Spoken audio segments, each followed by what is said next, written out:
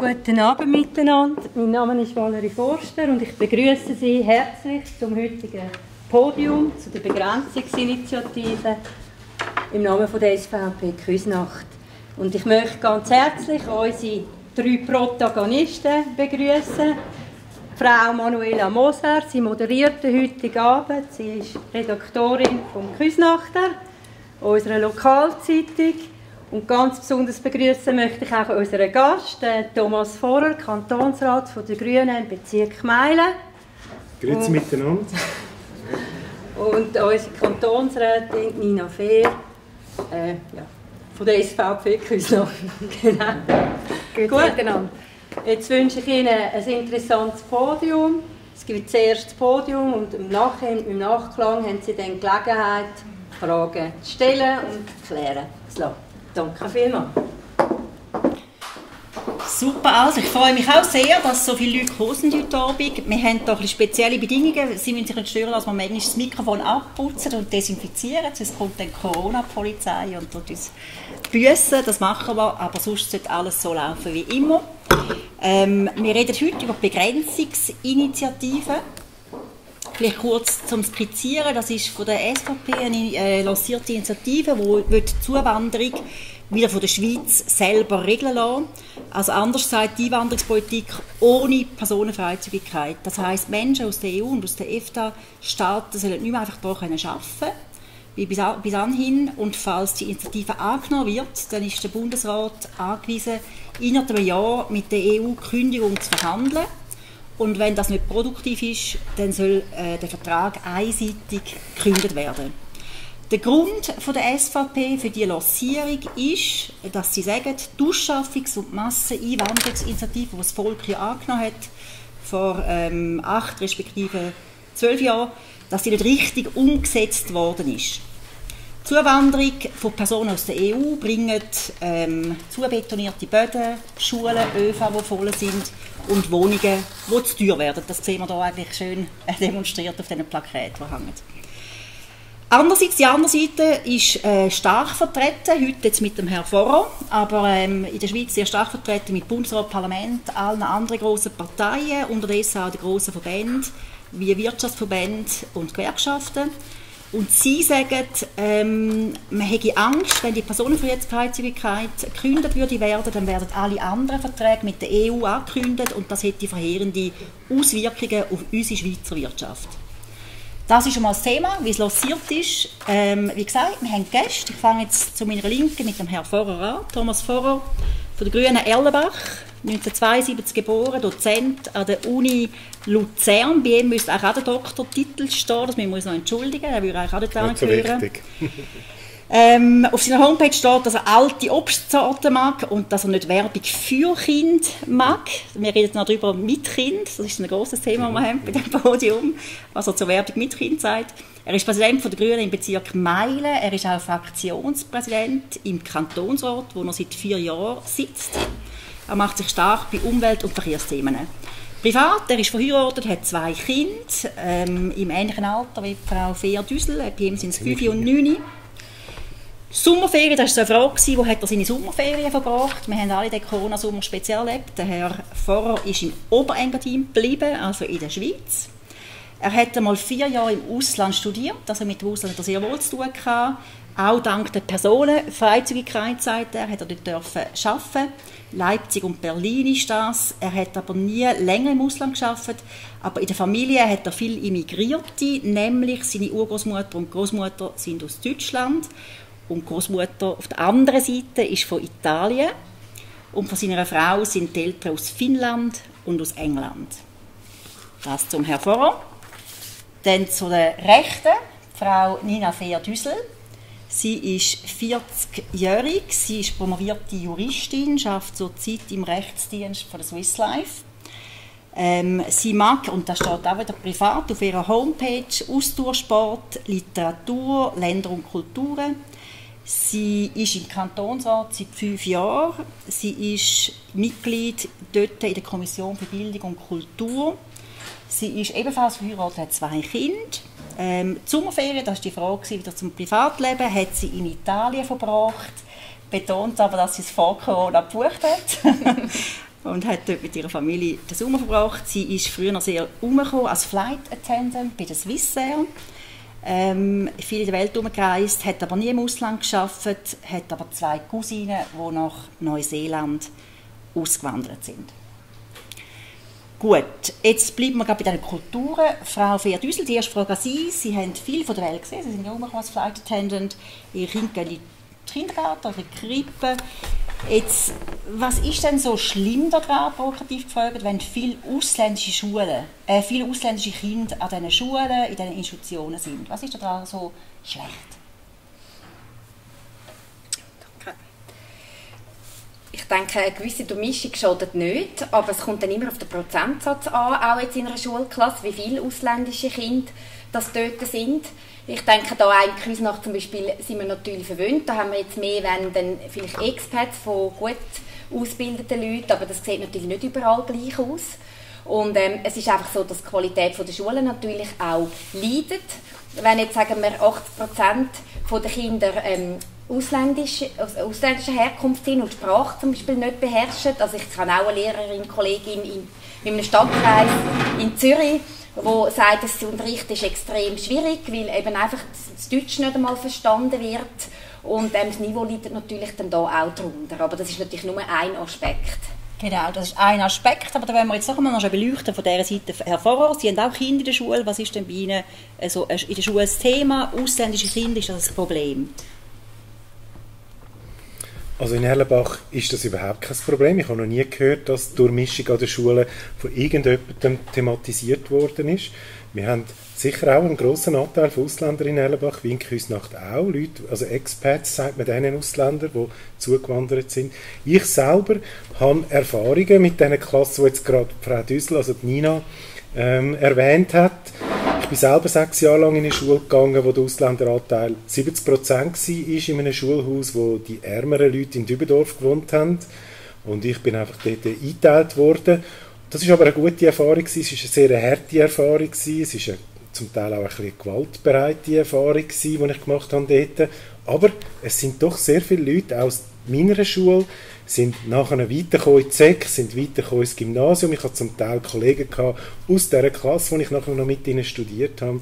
Und von dem wollte ich einfach sagen, auch wenn man mal in einem schlimmen Schulhaus war, wie ich war, man kann also seinen Weg durchaus auch machen, ohne Sonderpädagogik und was es alles damals nicht gegeben hat. Jetzt müssen wir von Anfang aber aufpassen, oder wir werden über das noch reden, wenn wir jetzt sagen, ausländische Kinder bringen ein Problem, das muss ja auch nicht so sein. Reden wir mal vom größeren Thema, das die Begrenzungsinitiative angeht, und zwar, dass eben eigentlich zu viele Leute in die Schweiz kommen. Möchten denn Sie, Herr Vorer, in einer 10 Millionen Schweiz leben? Ja, das ist natürlich eine gute Zahl, oder? Das kann man sich gut einprägen, die 10 Millionen. Ich muss natürlich sagen, die ist hochspekulativ.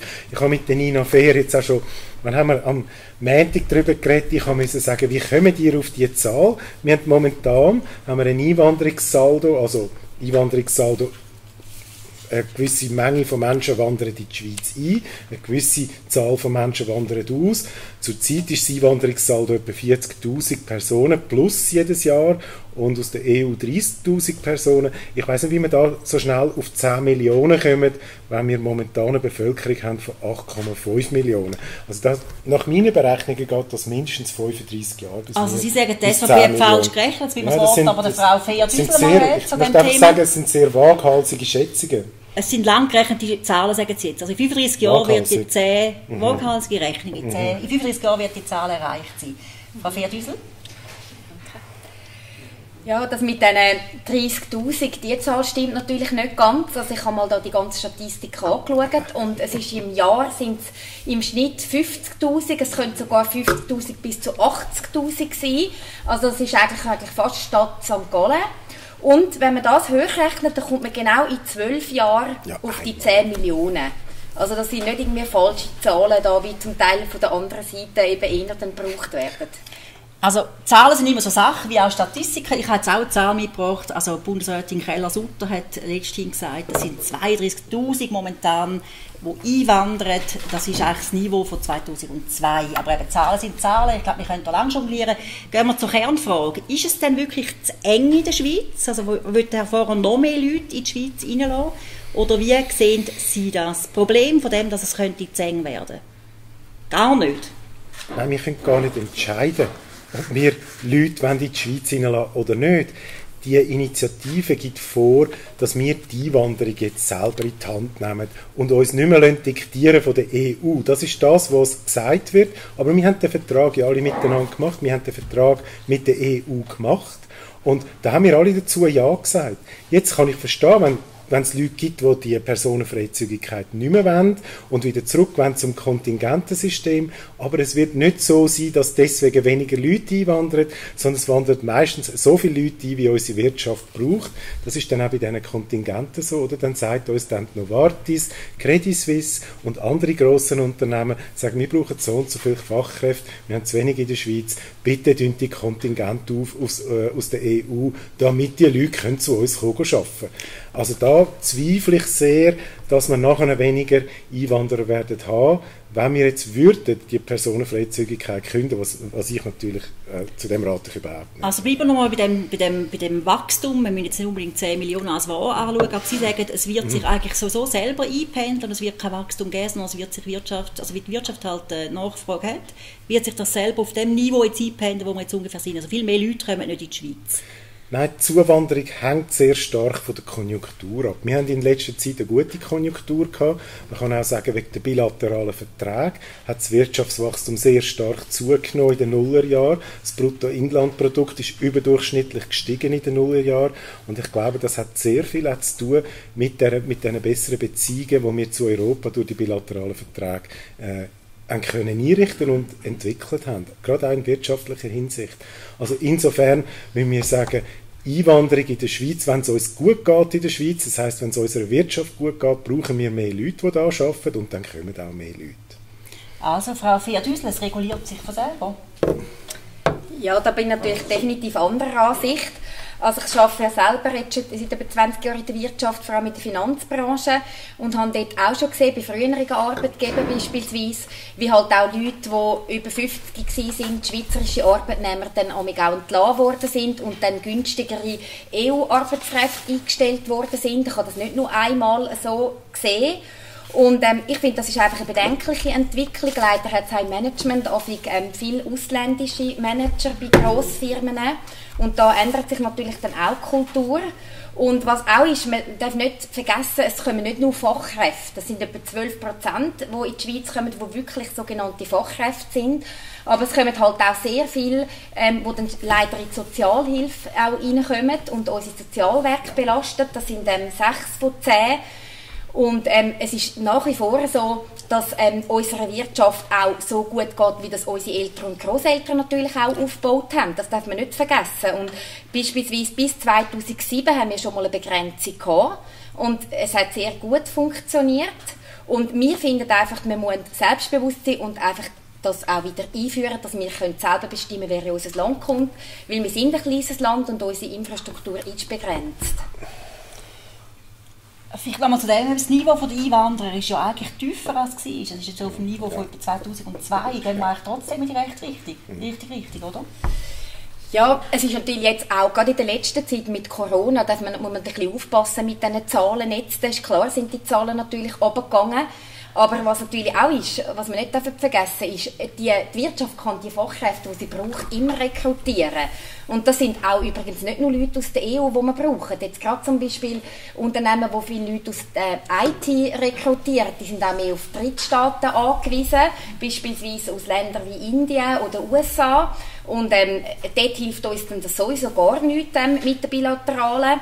Und es ist einfach, für mich ist es einfach wichtig, dass die Unternehmen wirklich auch selber können sagen wer das sie brauchen und das, das werden sie auch in Zukunft können. Und, und wir dürfen dann nicht vergessen, dass wir auch die Schweizer Fachkräfte müssen ausbilden, weiterbilden, gerade beispielsweise auch in der Gesundheitsbranche und mehr auch auf unsere Fachkräfte setzen.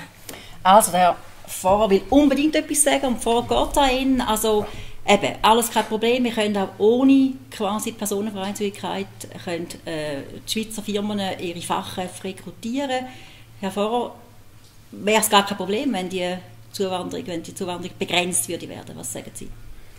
also wenn es nur darum geht, ums Rekrutieren von der Fachkräfte, dann können wir sehr gut beim jetzigen Zustand bleiben.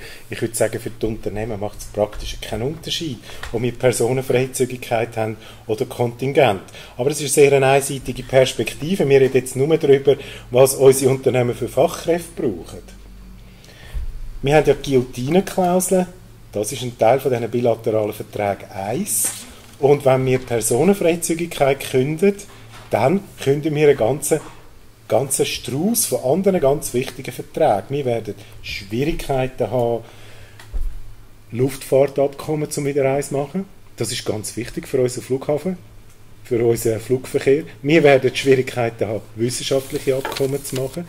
Jetzt haben wir einen sehr guten Austausch mit anderen europäischen Universitäten. Das bringt Know-how und Wissen in die Schweiz. Dann werden wir was ganz zentral ist, äh, bei den technischen Abkommen, wo unseren Handel erleichtert, oder, dass man nicht alles muss immer wieder von Neuem äh, normieren und so weiter und sagen, ja, das Produkt entspricht dem und dem und jedes Mal eine riesige Bürokratie hat. Für das haben wir die technischen Handelsabkommen und etwa zwei Drittel von unseren KMU in der Schweiz sind exportiert nach Europa. Die Frage ist einfach, ob wir das jetzt derart erschweren Gerade nachdem Corona unseren KMU derart zugesetzt hat, oder? KMU stehen zum Teil unter Druck. Und jetzt, wenn wir dieser ähm, Begrenzungsinitiative würden zustimmen, dann würden wir einen Raum von der Zeit, von der Unsicherheit schaffen, was vor allem unseren KMU in der Schweiz ähm, würde schaden. Und das ist für mich eigentlich der Hauptgrund, um die ablehnen. Ich möchte nicht unserer Wirtschaft nochmal eins auswischen, nachdem Corona unserer Wirtschaft schon stark zugesetzt hat. Über da müssen wir glaube ich sowieso reden. Das ist ein Kernpunkt. Also es wird wahrscheinlich die wichtigste Abstimmung sowieso von diesem Jahr sein für die Wirtschaft. Oder? Die Wirtschaft betrifft die ähm, Abstimmung sehr stark. Darum machen sich auch alle eigentlich sich äußern, äh, äh, wo in der Wirtschaft irgendetwas zu sagen haben. Was auffällig war, ist, ist, dass alle grossen Firmen, Chefs ähm, eigentlich gegen die Initiative sind, aus den Gründen, die wir vorhin gehört haben. Sie haben Angst, sie können sonst nicht mehr ihre Fachkräfte rekrutieren.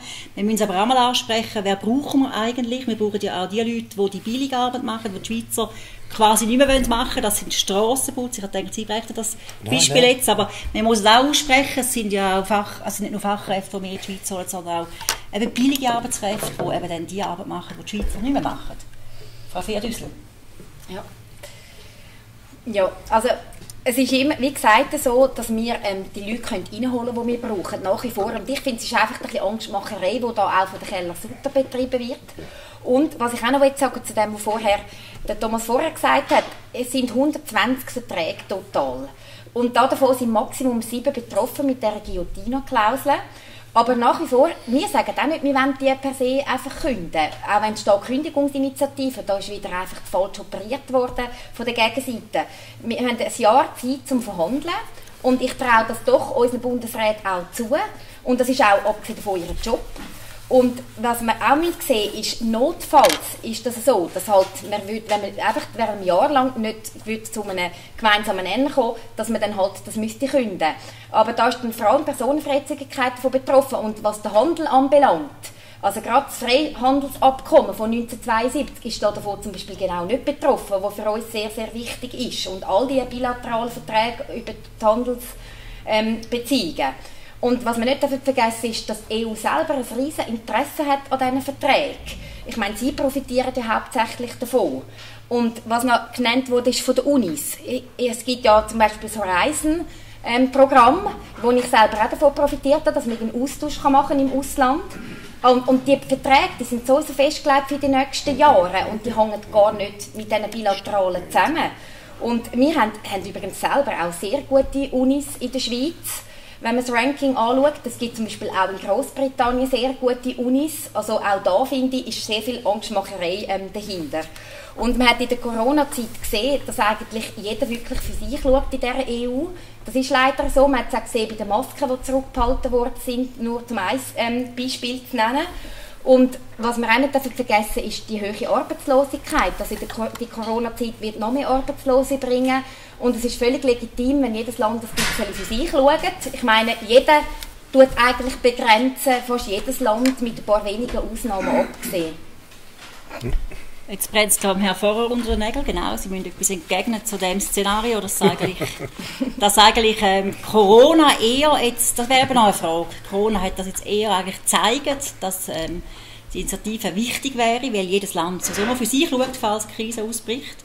Oder sehen Sie das anders? Hat Corona eher gezeigt, dass gewisse Weltprobleme halt einfach nur zusammen zu lösen sind? Wie sehen Sie das? Also ich habe jetzt nicht gesehen, dass der auseinanderbricht in Corona. Also da muss ich jetzt sagen, es gibt keine Anzeichen dafür. Vielleicht haben die Polen einmal die Masken ein bisschen zurückgehalten gegenüber den Deutschen oder umgekehrt, aber das hat jetzt den äh, supranationale Frieden, den die EU eigentlich gebracht hat über Europa, hat es nicht gefährdet. Und auch die wirtschaftlichen Beziehungen nicht. Oder? Also ich möchte noch schnell sagen, also Erstens mal noch zum Namen Kündigungsinitiative. Das ist ja der Name, wo der Herr Rösti selber ins Spiel gebracht hat. Er hat gesagt, jetzt machen wir eine Kündigungsinitiative. Wir haben das eigentlich nur aufgenommen, was ihr wollt. Wir nehmen euch beim Wort in dem Sinn. Und was jetzt noch die Verhandlung von diesen Verträgen, ob man die einfach so leichtfertig kann aufgeben und nachher sagen, ja, ja, das kriegen wir dann schon wieder an.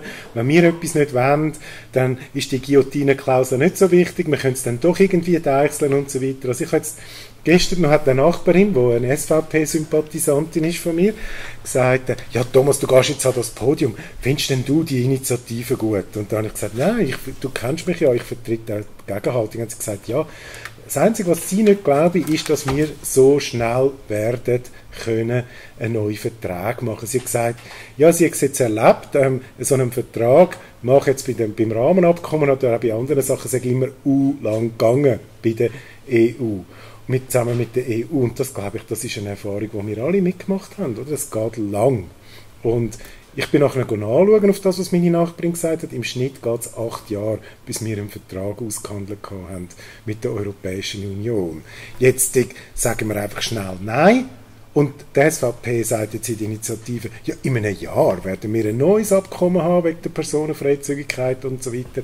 Da können wir etwas aushandeln oder schauen, dass die draussen ist. Ich glaube nicht, dass wir das in einem Jahr schaffen. Und dann kommt die Guillotine-Klausel und dann werden wir noch mal acht Jahre haben zum, im Schnitt, um die Verträge wieder anzubringen. Da haben wir also zusammengerechnet, was die Erfahrung jetzt anbelangt, das sind politologische Untersuchungen übrigens über die Vertragsverhandlungen, wie lange die gehen, Zusammengerechnet haben wir etwa neun Jahre Unsicherheit, wenn wir die Initiativen annehmen. Und ich weiß nicht, ob das der Wirtschaft so gut tut. Die EU ist unser wichtigster Wirtschaftspartner, den wir haben. Wir exportieren am meisten in die EU. Wir produzieren Ersatzteile, wir produzieren Teile für die Autoindustrie in Deutschland und so weiter. Ich weiß nicht, ob es so gut ist, wenn wir da plötzlich die Unsicherheit herstellen. Also mit den Begrifflichkeiten müssen wir eh mal noch schauen. Also eben, es ist eigentlich offiziell die Begrenzungsinitiative. Aber das ist richtig, dass Vertreter auch der SVP, der Herr Blocher oder wir können auch andere nennen, sie auch Kündigungsinitiative genannt hat. Und wenn man ähm, den Initiativtext anschaut, den wir ja wahrscheinlich heute alle jetzt im Briefkasten haben zu dieser Initiative, ähm, ist es schon so, dass wenn, also im Prinzip ist die Absicht äh, die, die bilaterale, das heißt ähm, das Personenfreizügigkeitsabkommen neu zu verhandeln schlussendlich zu künden einseitig, ja, wie will man neu verhandeln? Und die Gutine-Klausel, die ist nun mal wirklich äh, auch ein Faktum, auch das steht da im Abstimmungsbüchlein. Also wenn die Personenfreizügigkeit quasi gekündigt wird, was ja eigentlich schon, eben, nochmal zur Begrifflichkeit, das Ziel ist von dieser Begrenzungsinitiative, man will ja ähm, die Einwanderung kontrollieren, dann würden die anderen sechs Verträge, ähm, wo eben für Handelsbeziehungen wichtig sind mit der EU, eben wirklich auch betroffen sein. Wieso tut man denn das jetzt so ein bisschen schön reden, Frau Ferdüsel? Ja, merci. Also schön reden tun wir das überhaupt nicht, aber wir sehen es einfach realistisch und ich finde einfach, die Gegenseite macht im Moment auch sehr auf Panikmache. Und das ist das mal bei der Masseneinwanderungsinitiative ist schon genau das Gleiche gewesen. Und ähm, wir sind immer auch kritisch gewesen, was einen EU-Beitritt anbelangt. Und heute sehen es ja zum Glück die meisten Leute so. Damals haben sie es auch noch anders gesehen.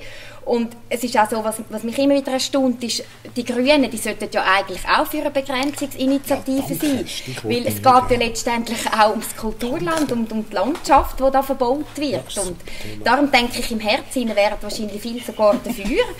Und, und ähm, was, was ich auch noch sagen will, ist, wir haben wirklich ein Jahr Zeit zum Verhandeln. Und ähm, das ist, wie gesagt, die Aufgabe auch und von diesen Handelspartnern. Und die EU hat sehr grosses Interesse an diesen bilateralen Beziehungen.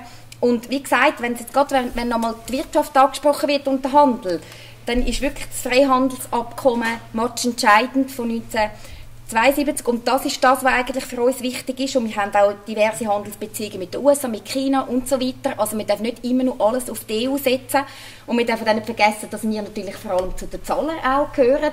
Ähm, gerade jetzt in, in, würden wir mal je zu einer EU gehören, ist klar, haben die anderen ein Interesse daran, weil wir ja vor allem die sind, die müssen zahlen Und ähm, ich denke einfach, wir dürfen ruhig auch ähm, sehen, was die anderen für einen Profit haben an diesen Beziehungen und die andere Seite, die Gegenseite redet auch immer nur im Konjunktiv, fällt mir auch auf. Oder? Es könnte passieren, wir würden riskieren, aber niemand kann wirklich das so genau sagen. Und darum dürfen wir ruhig als Schweizer sagen, ähm, wir sind mit unserem Weg bis jetzt glaub, nicht so schlecht gefahren. Also, können wir mal auf die Ängste sprechen. Wir haben gesagt, Wirtschaft, dort müssen wir sagen, wir wissen wirklich nicht ganz genau, was rauskommt. Eben, tut es der Wirtschaft schaden, tut es ihr nicht schaden, tut es das Selbstbewusstsein von der Schweiz stärken, wenn wir selber verhandeln oder nicht. Ich wir ein anderes Thema von Ängsten ansprechen. Und zwar geht es genau um Kulturlandschaft, um Zubetonierung, um Mieten, die zu hoch werden. Und da müssen wir vielleicht ganz kurz einmal auf den SVP-Film zu sprechen kommen. Ähm, ich glaube, da innen haben die wahrscheinlich alle gesehen, mit dem Mädchen, das vom Land äh, in die Stadt fährt und eben sieht, was die Zustände sind und noch viel verstärkter könnten werden, dass nämlich die Schweiz zubetoniert ist, dass es keinen Platz mehr hat im Tram, dass die Arbeitsstellen ähm, der Schweizer von Ausländern weggenommen werden. Jetzt Herr Pfarrer, eben, ist berechtigt zu sagen, Sie sind im Grünen, Sie wollen äh, die Landschaft schützen, immer mehr Leute würden aber kommen, wenn wir das nicht begrenzen tun, wenn wir da ins Land lassen. Eben, wäre es nicht wie gemacht, dass das eine Initiative für die Grünen wäre, die Sie müssen unterstützen Ja, es gibt schon grüne Bewegungen, die das würde unterstützen und das sind Deko-Popper, aber die sind leider nicht bei uns in der Partei. Also da haben wir keine Vermischung, oder? Ähm, wir sagen, Ökologie lässt sich nicht über Zuwanderung steuern, aber es ist auch so, dass äh, ich muss vielleicht ein bisschen so anfangen. Ich meine, ich teile ja tatsächlich die Ängste, die vorhanden sind und jetzt auch von der SVP thematisiert werden und von der AUNS. Und ich finde das ja sogar noch gut. Also, Landschaften schützen, oder? Gewisse Ortskerne erhalten, gewisse Ortsbilder erhalten, auch unsere Arbeitsplätze erhalten, kämpfen gegen Dumpinglöhne und so weiter. Das sind alles Anliegen, die die Grünen vertreten. Und da muss man sagen, da sind wir eigentlich sehr nah bei euch mit diesen Anliegen. Oder umgekehrt muss ich vielleicht sagen, wir sind froh, dass ihr die Anliegen jetzt auch aufgreifen in eurer Kampagne.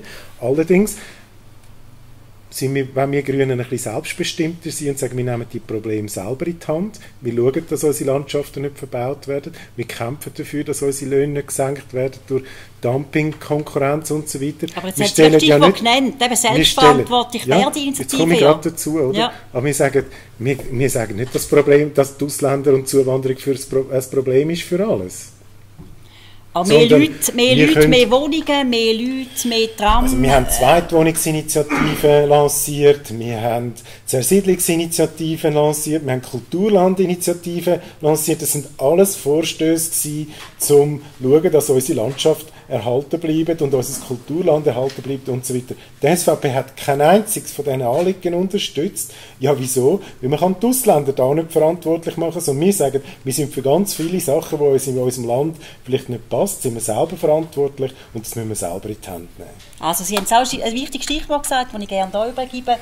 Wir können sagen, Begrenzungsinitiative heisst ähm, Kündigungsinitiative. Wir können aber auch sagen, nach dem Film vielleicht, wo man gesehen hat, wo viel Kritik gebracht hat, der SVP, ähm, es ist eigentlich, anders gesagt, sogar eine Anti-Ausländer-Initiative. Ja, ich meine, es kommt immer die Rassismuskühle, auch bei diesem Film, oder? Und ich muss ganz ehrlich sagen, ich habe den Film natürlich auch geschaut und es ist ganz ein normaler Film, wo sich ein Mädchen Sorgen macht um die Umwelt, um die Zukunft und ähm, ich sehe überhaupt keinen Rassismus in diesem Film rein. Ich meine, zum Beispiel, auch wenn man sagt, dass man da Junge tut instrumentalisieren, also ich meine, die Grünen haben da zum Beispiel Greta super gefunden, dort ist es dann kein Problem. Und ähm, was ich noch sagen ist, von der, wegen Zuwanderung und grüne Anliegen, ähm, ich habe gerade letzte Studie gesehen vom BAFU, vom Bundesamt, ähm, dass Klimaziele eigentlich nicht erreicht worden sind in der Schweiz. Und zwar ist das wegen der Zuwanderung, das haben sie sogar explizit erwähnt, dass Klimaziele wegen der Zuwanderung nicht erreicht worden sind. Und ist ja logisch eigentlich, also das ein gesunder Menschenverstand, dass wenn, wenn jedes Jahr 50'000 Leute mehr kommen oder sogar noch mehr, und dann braucht es neue Straßen, es braucht viel mehr Wohnraum und, und das automatisch natürlich Kulturland verloren geht und dass ähm, über, die Schweiz überbaut wird und wir sind ein kleines Land. Also von dem her gesehen, da kann man dann noch so versuchen, ein paar Blümchen auf dem Balkon zu pflanzen, die ein bisschen Biodiversität herstellen, wenn man dann trotzdem so viele Leute reinlässt. Weil es ist einfach so, jeder zusätzliche Mensch hat wieder einen, einen Fußabdruck. Und ähm, wenn uns immer angelastet wird, wir machen gar nichts. Ich meine, eben jetzt machen wir zum Beispiel etwas, oder was auch etwas ist, ist, wir haben so viele Bauern in unserer Partei, wie glaube keine andere Partei, und wir machen einfach praktischen Umweltschutz. Und ähm, wir wissen wirklich auch, von, wo, von was wir reden. Ich habe zum Beispiel selber viele Bauern in unserer Verwandtschaft. Und ähm, dann, die, die sorgen natürlich sich auch um den Halt vom Kulturland und vom Natur, von der Natur. Und von dem her gesehen, ähm, eben, ist mir es auch ein unverständlich, dass ihr nicht mehr auch jetzt bei so einer Initiative dabei sind. Und ich habe einfach das Gefühl, es ist leider halt wieder ein der Anti-SVP-Reflex, der da spielt, weil im Inneren wahrscheinlich schon noch viel das Anliegen wieder befürworten. Musst du das Mikrofon wieder an mich reissen. Ja, wir haben ein bisschen erschwerte Bedingungen. Ähm, also, wir bleiben aber dem Vorwurf, dass äh, Natur und Umwelt jetzt die SVP interessiert, äh, wenn es den Ausländern die Schuld geben dass äh, die Schweiz zu betoniert wird. Man darf das schon einmal fundierter anschauen, von dieser Seite jetzt vom Herrn vorher. Äh, würden Sie dann unterstreichen, dass die Initiative eigentlich eine Anti-Ausländer-Initiative ist? Könnte man sie ja so nennen? Nein, ich würde ich würd jetzt, also ich bin zum Beispiel weit davon weg, jetzt da irgendwie Rassismus vorzuwerfen oder so. Ich finde das völlig falsch, oder? Ich habe auch nicht das Gefühl, es ist eine Anti-Ausländer-Initiative, sondern ich habe das Gefühl, ah ja, mache ich gern, pardon. Ich habe auch nicht das Gefühl, es ist eine Anti-Ausländer-Initiative und ich habe auch nicht das Gefühl, da ist jetzt Rassismus im Spiel oder so. Also das möchte ich als Gegner von der Initiative eigentlich verneinen, sondern in der Initiative geht es darum, dass wir unsere außenpolitischen Beziehungen mit Europa aufs Spiel setzen und dass wir einen Bruch provozieren mit deren Initiative. Das ist das, was nachher uns blüht. Und das hat dann ganz viele Konsequenzen. Wir machen es jetzt einfach über Personenfreizügigkeit. Wir könnten jetzt aber auch das Luftfahrtabkommen machen oder irgendetwas von der bilateralen Eis, wo wir einfach einseitig auflösen. Jetzt nochmal zurück zu dem Film. Ich habe auch kein Problem. Ich muss ehrlich sagen, ich finde nicht, ich teile nicht die Kritik, dass wenn man ein Mädchen in diesem Film hat, dass jetzt die irgendwie als Kind instrumentalisiert wird für politische Anliegen. Nein, ich finde sogar die Figur, finde ich sogar noch gelungen. ich muss sagen, oder, das Kind hat eine Zukunft und die SVP fragt jetzt mit dem Film, ähm, was haben wir für eine Zukunft in dem Land, wenn wir jetzt nicht die Begrenzungsinitiativen annehmen. Jetzt, was mich ein bisschen stört, ist eher an der Sache, kann denn das Mädchen abstimmen? Nein. Hätte das Mädchen können abstimmen über die Zersiedlungsinitiative? Hätte es können abstimmen über die Kulturlandinitiative? Oder? Was eigentlich in dem Film passiert, ist so eine Art wie eine Entmündigung. Es gibt höhere Gewalten wie Zuwanderung, es gibt höhere Gewalten wie für Leute, die Verbrechen begehen wollen und andere Sachen. Und die bedrohen uns und jetzt müssen wir da einen Riegel schieben. Ich glaube aber, wir können in unserem Land sehr viel selber in die Hand nehmen. Wir können andere Gesetze machen, wir können, Polizei, wir können Polizei dazu anhalten, gewisse Verbrechen besser zu ahnden und so weiter. Wir haben es eigentlich in der Hand und wir müssen uns gar nicht abhängig machen von diesen Einwanderern, so wie es die SVP ein bisschen macht. Oder? Sondern wir haben eigentlich alles in der Hand und wir müssen das machen, was wir für richtig befinden. Und das Mädchen kann es eben nicht, weil sie ist noch zu jung, sie kann nicht politisch entscheiden. Darum finde ich das Mädchen nicht so gut. Und es stört sie nicht, also was gesagt worden ist, ist zum Beispiel, dass wenn die Stimme im Off der Mädchen ist und sie redet von Räubern und von Kriminellen, dass dann immer, ähm, man sieht den Schwarze, man sieht den Ausländer, das hat sie nicht, hat sie nicht gestoßen. Das ist nicht so glücklich gewählt. Also ich finde jetzt auch, dunkelhäutige Menschen assoziiere ich ja nicht mit der EU in erster Linie. Oder? Die will ich jetzt mit Afrika assoziieren. Das ist ein bisschen unglücklich, weil die Begrenzungsinitiative, die betrifft jetzt unser Verhältnis zur EU. Und von dem her ist das nicht so gut gemacht. Aber ich habe jetzt da nicht gefunden, wir müssen jetzt aufschreien wegen dem. Also lassen wir den Film mal noch auf der Seite, hat sicher äh, die nötige oder die gewünschte Diskussion gebracht, das ist klar, wir können noch lange über den Film reden. Reden wir lieber noch mal von den Kern von der Initiative und zwar muss man ja zurückkommen. Also warum ist die überhaupt lanciert worden von der SVP? Äh, und da würde ich noch mal den Herrn Vorher ansprechen, ja, wir haben sie in der Hand, um selber etwas zu machen. Also das Volk, das Stimmvolk hat eigentlich ähm, die Masseneinwanderungsinitiative 2014 knapp zwar, aber angenommen. Also man hat dort schon Ängste geäußert, dass zu viele Leute in die Schweiz kommen könnten. Der Volkswille war, man will ähm, eine gewisse Regulierung machen, man will das der Schweiz in die Hand geben, um zu sagen, stopp. Jetzt, warum das jetzt eigentlich die Begrenzungsinitiative sechs Jahre später kommt, hat ja genau dort drin gefußt, dass man gesagt hat, aus SVP-Kreisen, wir müssen das Problem nochmal an den Wurzeln packen. Es ist nämlich politisch nichts passiert. Das Volk hat zwar die Ängste geäußert und äh, dazu mal eben die Masseneinwanderungsinitiative auch angenommen, aber Begrenzungszahlen zum Beispiel hat es nicht gegeben im Zug von dieser Initiative. Und darum kommt jetzt gerade nochmal eine zweite Initiative, eben eigentlich auch aus dem Grund, weil die Ängste eben nicht ähm, aufgenommen worden sind und man hat eben politisch wirklich nichts gemacht, so wie das jetzt sagen, wir haben es in der Hand. Herr Pfarrer, ist einfach das jetzt ähm, verschlafen worden? Hat die Politik tatsächlich den Volkswillen nicht umgesetzt? Ja, es wäre eigentlich nötig gewesen bei der Masseneinwanderungsinitiative, wo wir Mitte-Links-Parteien, ich rede jetzt mal für alle, verloren haben. Oder? Und das ist für uns auch ein grosser Schlag gewesen, muss ich sagen, der Verlust, äh, die Niederlage. Ähm, das Problem ist einfach gewesen, dass man ja nicht einfach kann einseitig bestimmen, wenn man einen Vertrag hat, ähm, sondern es müssen beide Vertragspartner nachher einverstanden sein, dass man zum Beispiel ähm, Obergrenzen für die Einwanderung einführt. Und das ist halt einfach nicht vorgesehen in der Personenfreizügigkeit. Jetzt aus demokratiepolitischer Sicht finde ich natürlich, das ist problematisch, wenn man so eine Initiative nicht umsetzt. Wir Grünen, wir wäffeln auch, wenn, das nicht, wenn unsere Initiativen nicht umgesetzt werden. Oder? Aber unser Verhältnis zur EU wäre eine Katastrophe geworden. Und das ist nicht Teil eigentlich von dieser Initiative.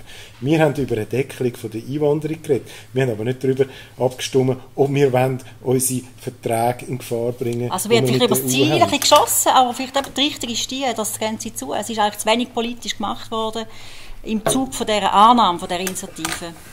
Vielleicht muss man Frau Ferdüssel dazu sagen, das ist eigentlich ein bisschen der Frust, der den Boden gegeben hat für die Begrenzungsinitiative.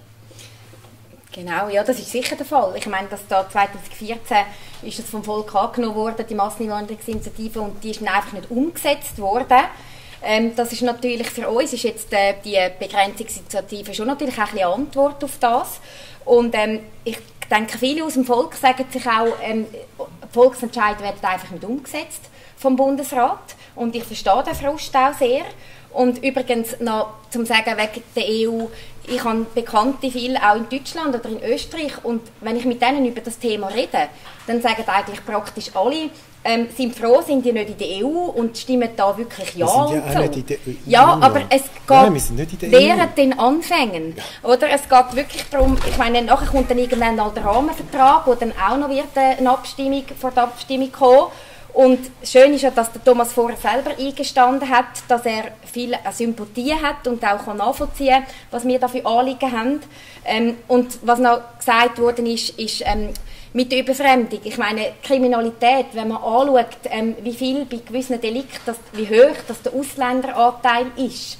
Und das sind einfach nur Fakten, das hat auch nichts mit Rassismus zu tun. Sind einfach, je nach Delikt sind 6 von 10 oder 7 von 10 sind Ausländer. Das ist jetzt einfach nur mal so von den Tätern. Und ähm, ja, ich denke einfach auch Frau Keller-Sutter operiert mit falschen Zahlen und, und macht auch ein bisschen Panik, wie es damals schon bei der Masseneinwanderungsinitiative war.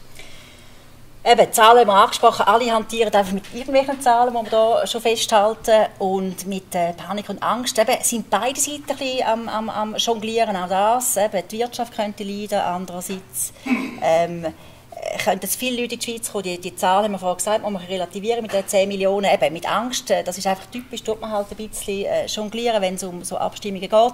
Aber nochmal, was sicher klar ist, ist, dass der Bundesrat das Debakel von 2014 will verhindern dieses Mal und er tut ja sehr geschlossen auftreten, inklusive dem ähm, SVP-Bundesrat Guy Parlin, der ja auch eigentlich sich geäußert hat, überhaupt, habe ich schon gesagt, alle Wirtschaftsleute, inklusive der Peter Spuler, ja auch ein Parteikollege, ähm, äh, ähm, das, also die Marschrichtung ist mal sicher ziemlich stark gegen diese Initiative. Wir wollen das Debakel 2014 verhindern. Aber was ist der Puls der Bevölkerung? Ich meine, es kann immer umschlagen, es kann immer ganz anders herauskommen. Ich habe die neuesten Zahlen von Umfragen mal noch mitgebracht. das ist eine, die Mitte August gemacht worden ist, die sagt, ähm, dass zum jetzigen Zeitpunkt, wenn wir heute abstimmen ähm, 56 Prozent der Schweizer würden Nein sagen, 41 Prozent Ja. Wobei man muss sagen, ein Stadt-Land-Graben ganz, ganz ersichtlich ist. Also die Städter sagen ganz deutlich ähm, weniger Ja zu der Initiative und auf dem Land hat es also eine Mehrheit. Eben, aber das Volk wird äh, de facto bleiben. Was denken denn Sie, Herr Vorer? Wie ist die Stimmung ähm, also im Volk? Vielleicht wieder gefragt, hat Corona da etwas verändert oder was, was, ist, was denken Sie? Hat die Swissness, die neue, vielleicht wo Corona auch ein bisschen bewogen hat, Sie sind ja in der Schweiz Ferien machen, also die neue Swissness, hat die jetzt vielleicht sogar in die Hand gespielt, der Initiative?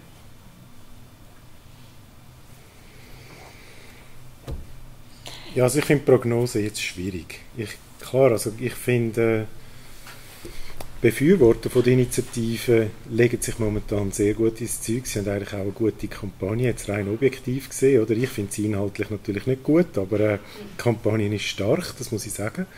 Ähm, ich finde auch, dass die Gegenkampagne noch ein bisschen stärker sein. Also es kann gut sein, dass sich noch ein bisschen mehr bewegt, richtig ein, ein Resultat, wo, wo so ein bisschen um die zwischen 45 und 55 Prozent umeinander schwankt.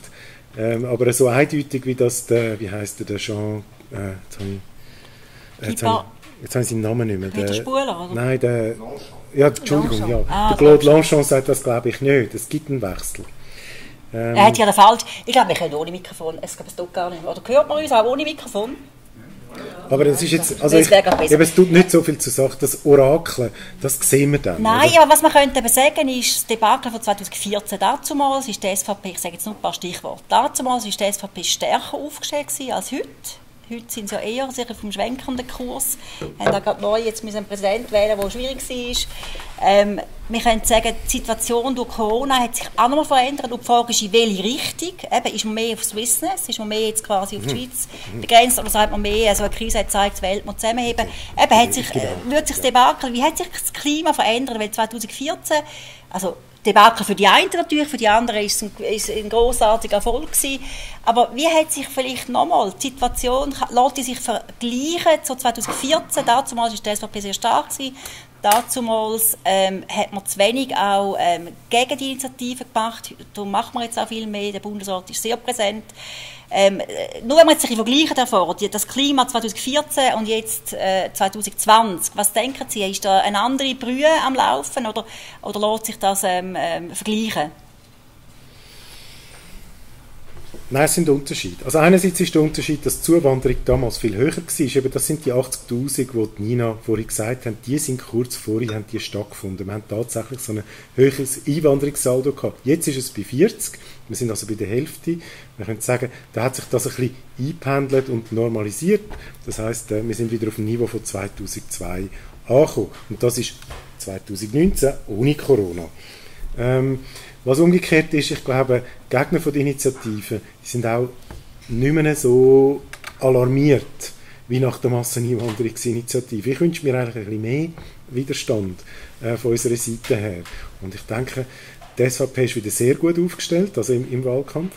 Aber das Wissens glaube ich, tut nichts zur Sache. Also wenn, wenn ich jetzt wirklich sage, ich liebe mein Land, oder, und ich liebe das Land ja auch, genauso wie Sie das machen, dann würde ich sagen, ich möchte einfach unserer Wirtschaft nicht schaden, oder? Und ich möchte auch der Wissenschaft, ich bin ja selber Wissenschaftler, ich habe erfahren, was passiert ist nach der Masseneinwanderungsinitiative. Da haben wir nämlich müssen für unsere Studenten in Luzern alles neue Programm machen, weil Erasmus nicht mehr verlängert worden ist. Es ist nachher neu eingerichtet worden und der Effekt war, dass wir sowohl für die Erasmus-Studenten, die da angekommen sind, gezahlt haben, und für unsere, die ins Ausland gegangen sind, gezahlt haben. Also wir müssen für beide zahlen. Dann war die EU bereit gewesen, die Verträge ähm, aufrechtzuerhalten. Oder? Und das ist eigentlich nicht so gut. Wir haben damals schon verloren an der Uni. Dann haben wir ganz wichtige Kooperationen verloren. Wir haben uns, wir haben uns nicht mehr können bewerben für gewisse Stipendien und Sachen. Wir sind wie, wie soll ich sagen, mit einem halben Fuß sind wir aus dem europäischen Wissenschafts- ähm, Kuchen sind wir rausgefallen. Das ist, glaube ich, schon, darf, darf ich sagen, das ist, glaube ich, schon ein wichtiger Punkt. Da macht sich ja im Prinzip die Pharma- und Chemieindustrie sehr stark jetzt auch gegen die Initiative. Ähm, man sagt ja eigentlich, die Innovationskraft von der Schweiz die ist gut aufgestellt, aber sie ist ganz stark auch gebunden an die Personenfreizügigkeit. Also damit wir Innovation haben, brauchen wir die Personenfreizügigkeit. Und davor hat das schön geschildert aus dem Alltag von der Uni, wie er das erlebt hat, wenn da eben quasi eine Bremse gezogen wird. Wie sehen mhm. denn Sie das, Frau Frierdüssel? Ähm, natürlich ist die Wirtschaft und der Forschungsstandort Schweiz wichtig und ich, ich glaube, das Beispiel aber von Thomas vorher hat ja eigentlich genau gezeigt, dass selbst damals, wo wirklich alles auf der Kippe war, hat man nachher einen Weg gefunden. Du hast das jetzt ja gerade schön illustriert. So und warten Sie, Herr Fahrer sagt nein. Ja, aber, das habe ich jetzt ja gerade gesagt. Jetzt hast du gerade gesagt, es ist sehr schwierig. Wir haben weitere Möglichkeiten ja. gefunden. Nein, und was ich auch noch sagen ist, es gibt beispielsweise Professor Janssen, Professor für Finance and Banking, der ganz stark sich für Begrenzungsinitiativen einsetzt, ähm, trotz seiner Funktion, die er hat. Und es gibt diverse so Personen, die einfach sagen, ja, wir müssen auch nicht immer Angst haben. Wir haben äh, sehr einen wichtigen ähm, Wirtschaftsstandort selber in der Schweiz, einen Forschungsstandort und unsere Start-up-Szene ist einzigartig. Und gerade um das mal zu sagen, also ich denke, was noch vorne benannt wurde, ist mit dem Corona, ich glaube, das hat eher noch sogar eben einen positiven Effekt auf unsere Zahlen weil ähm, viele sich wirklich auf das Wissen auch ein bisschen, ähm, berufen haben in dieser Zeit und gesagt haben, ja, in der Krise verhebt es eben leider nicht. Also man hat gesehen, dass die EU-Vereinbarungen zum Teil wertlos sind, wenn es darauf ankommt, zum Beispiel wenn man die medizinischen Hilfsmittel anschaut. Und ähm, dass eben die Verträge dann genau nicht verheben und die Abhängigkeit vom Ausland einfach heikel ist. Ich glaube, die Corona-Krise hat das aufgezeigt. das ist wirklich eine interessante Frage, Corona. Also, der Bundesrat tut ja eine andere ähm, äh, äh, Linie vertreten, und zwar sagt er, man darf in Zeiten von Corona, also von unsicheren Zeiten, nicht noch ähm, weiter ähm, unsere Wirtschaft gefördern. Und man würde die Wirtschaft gefördern, wenn man die Verträge mit der EU fördert. Und das mag es genau wegen Corona eben gar nicht leiden zurzeit. Ja, eben ich vertrete, wie gesagt, eine andere Ansicht und ich weiss auch von vielen Grossunternehmen, die sagen, Fachkräfte aus der EU haben sowieso genug.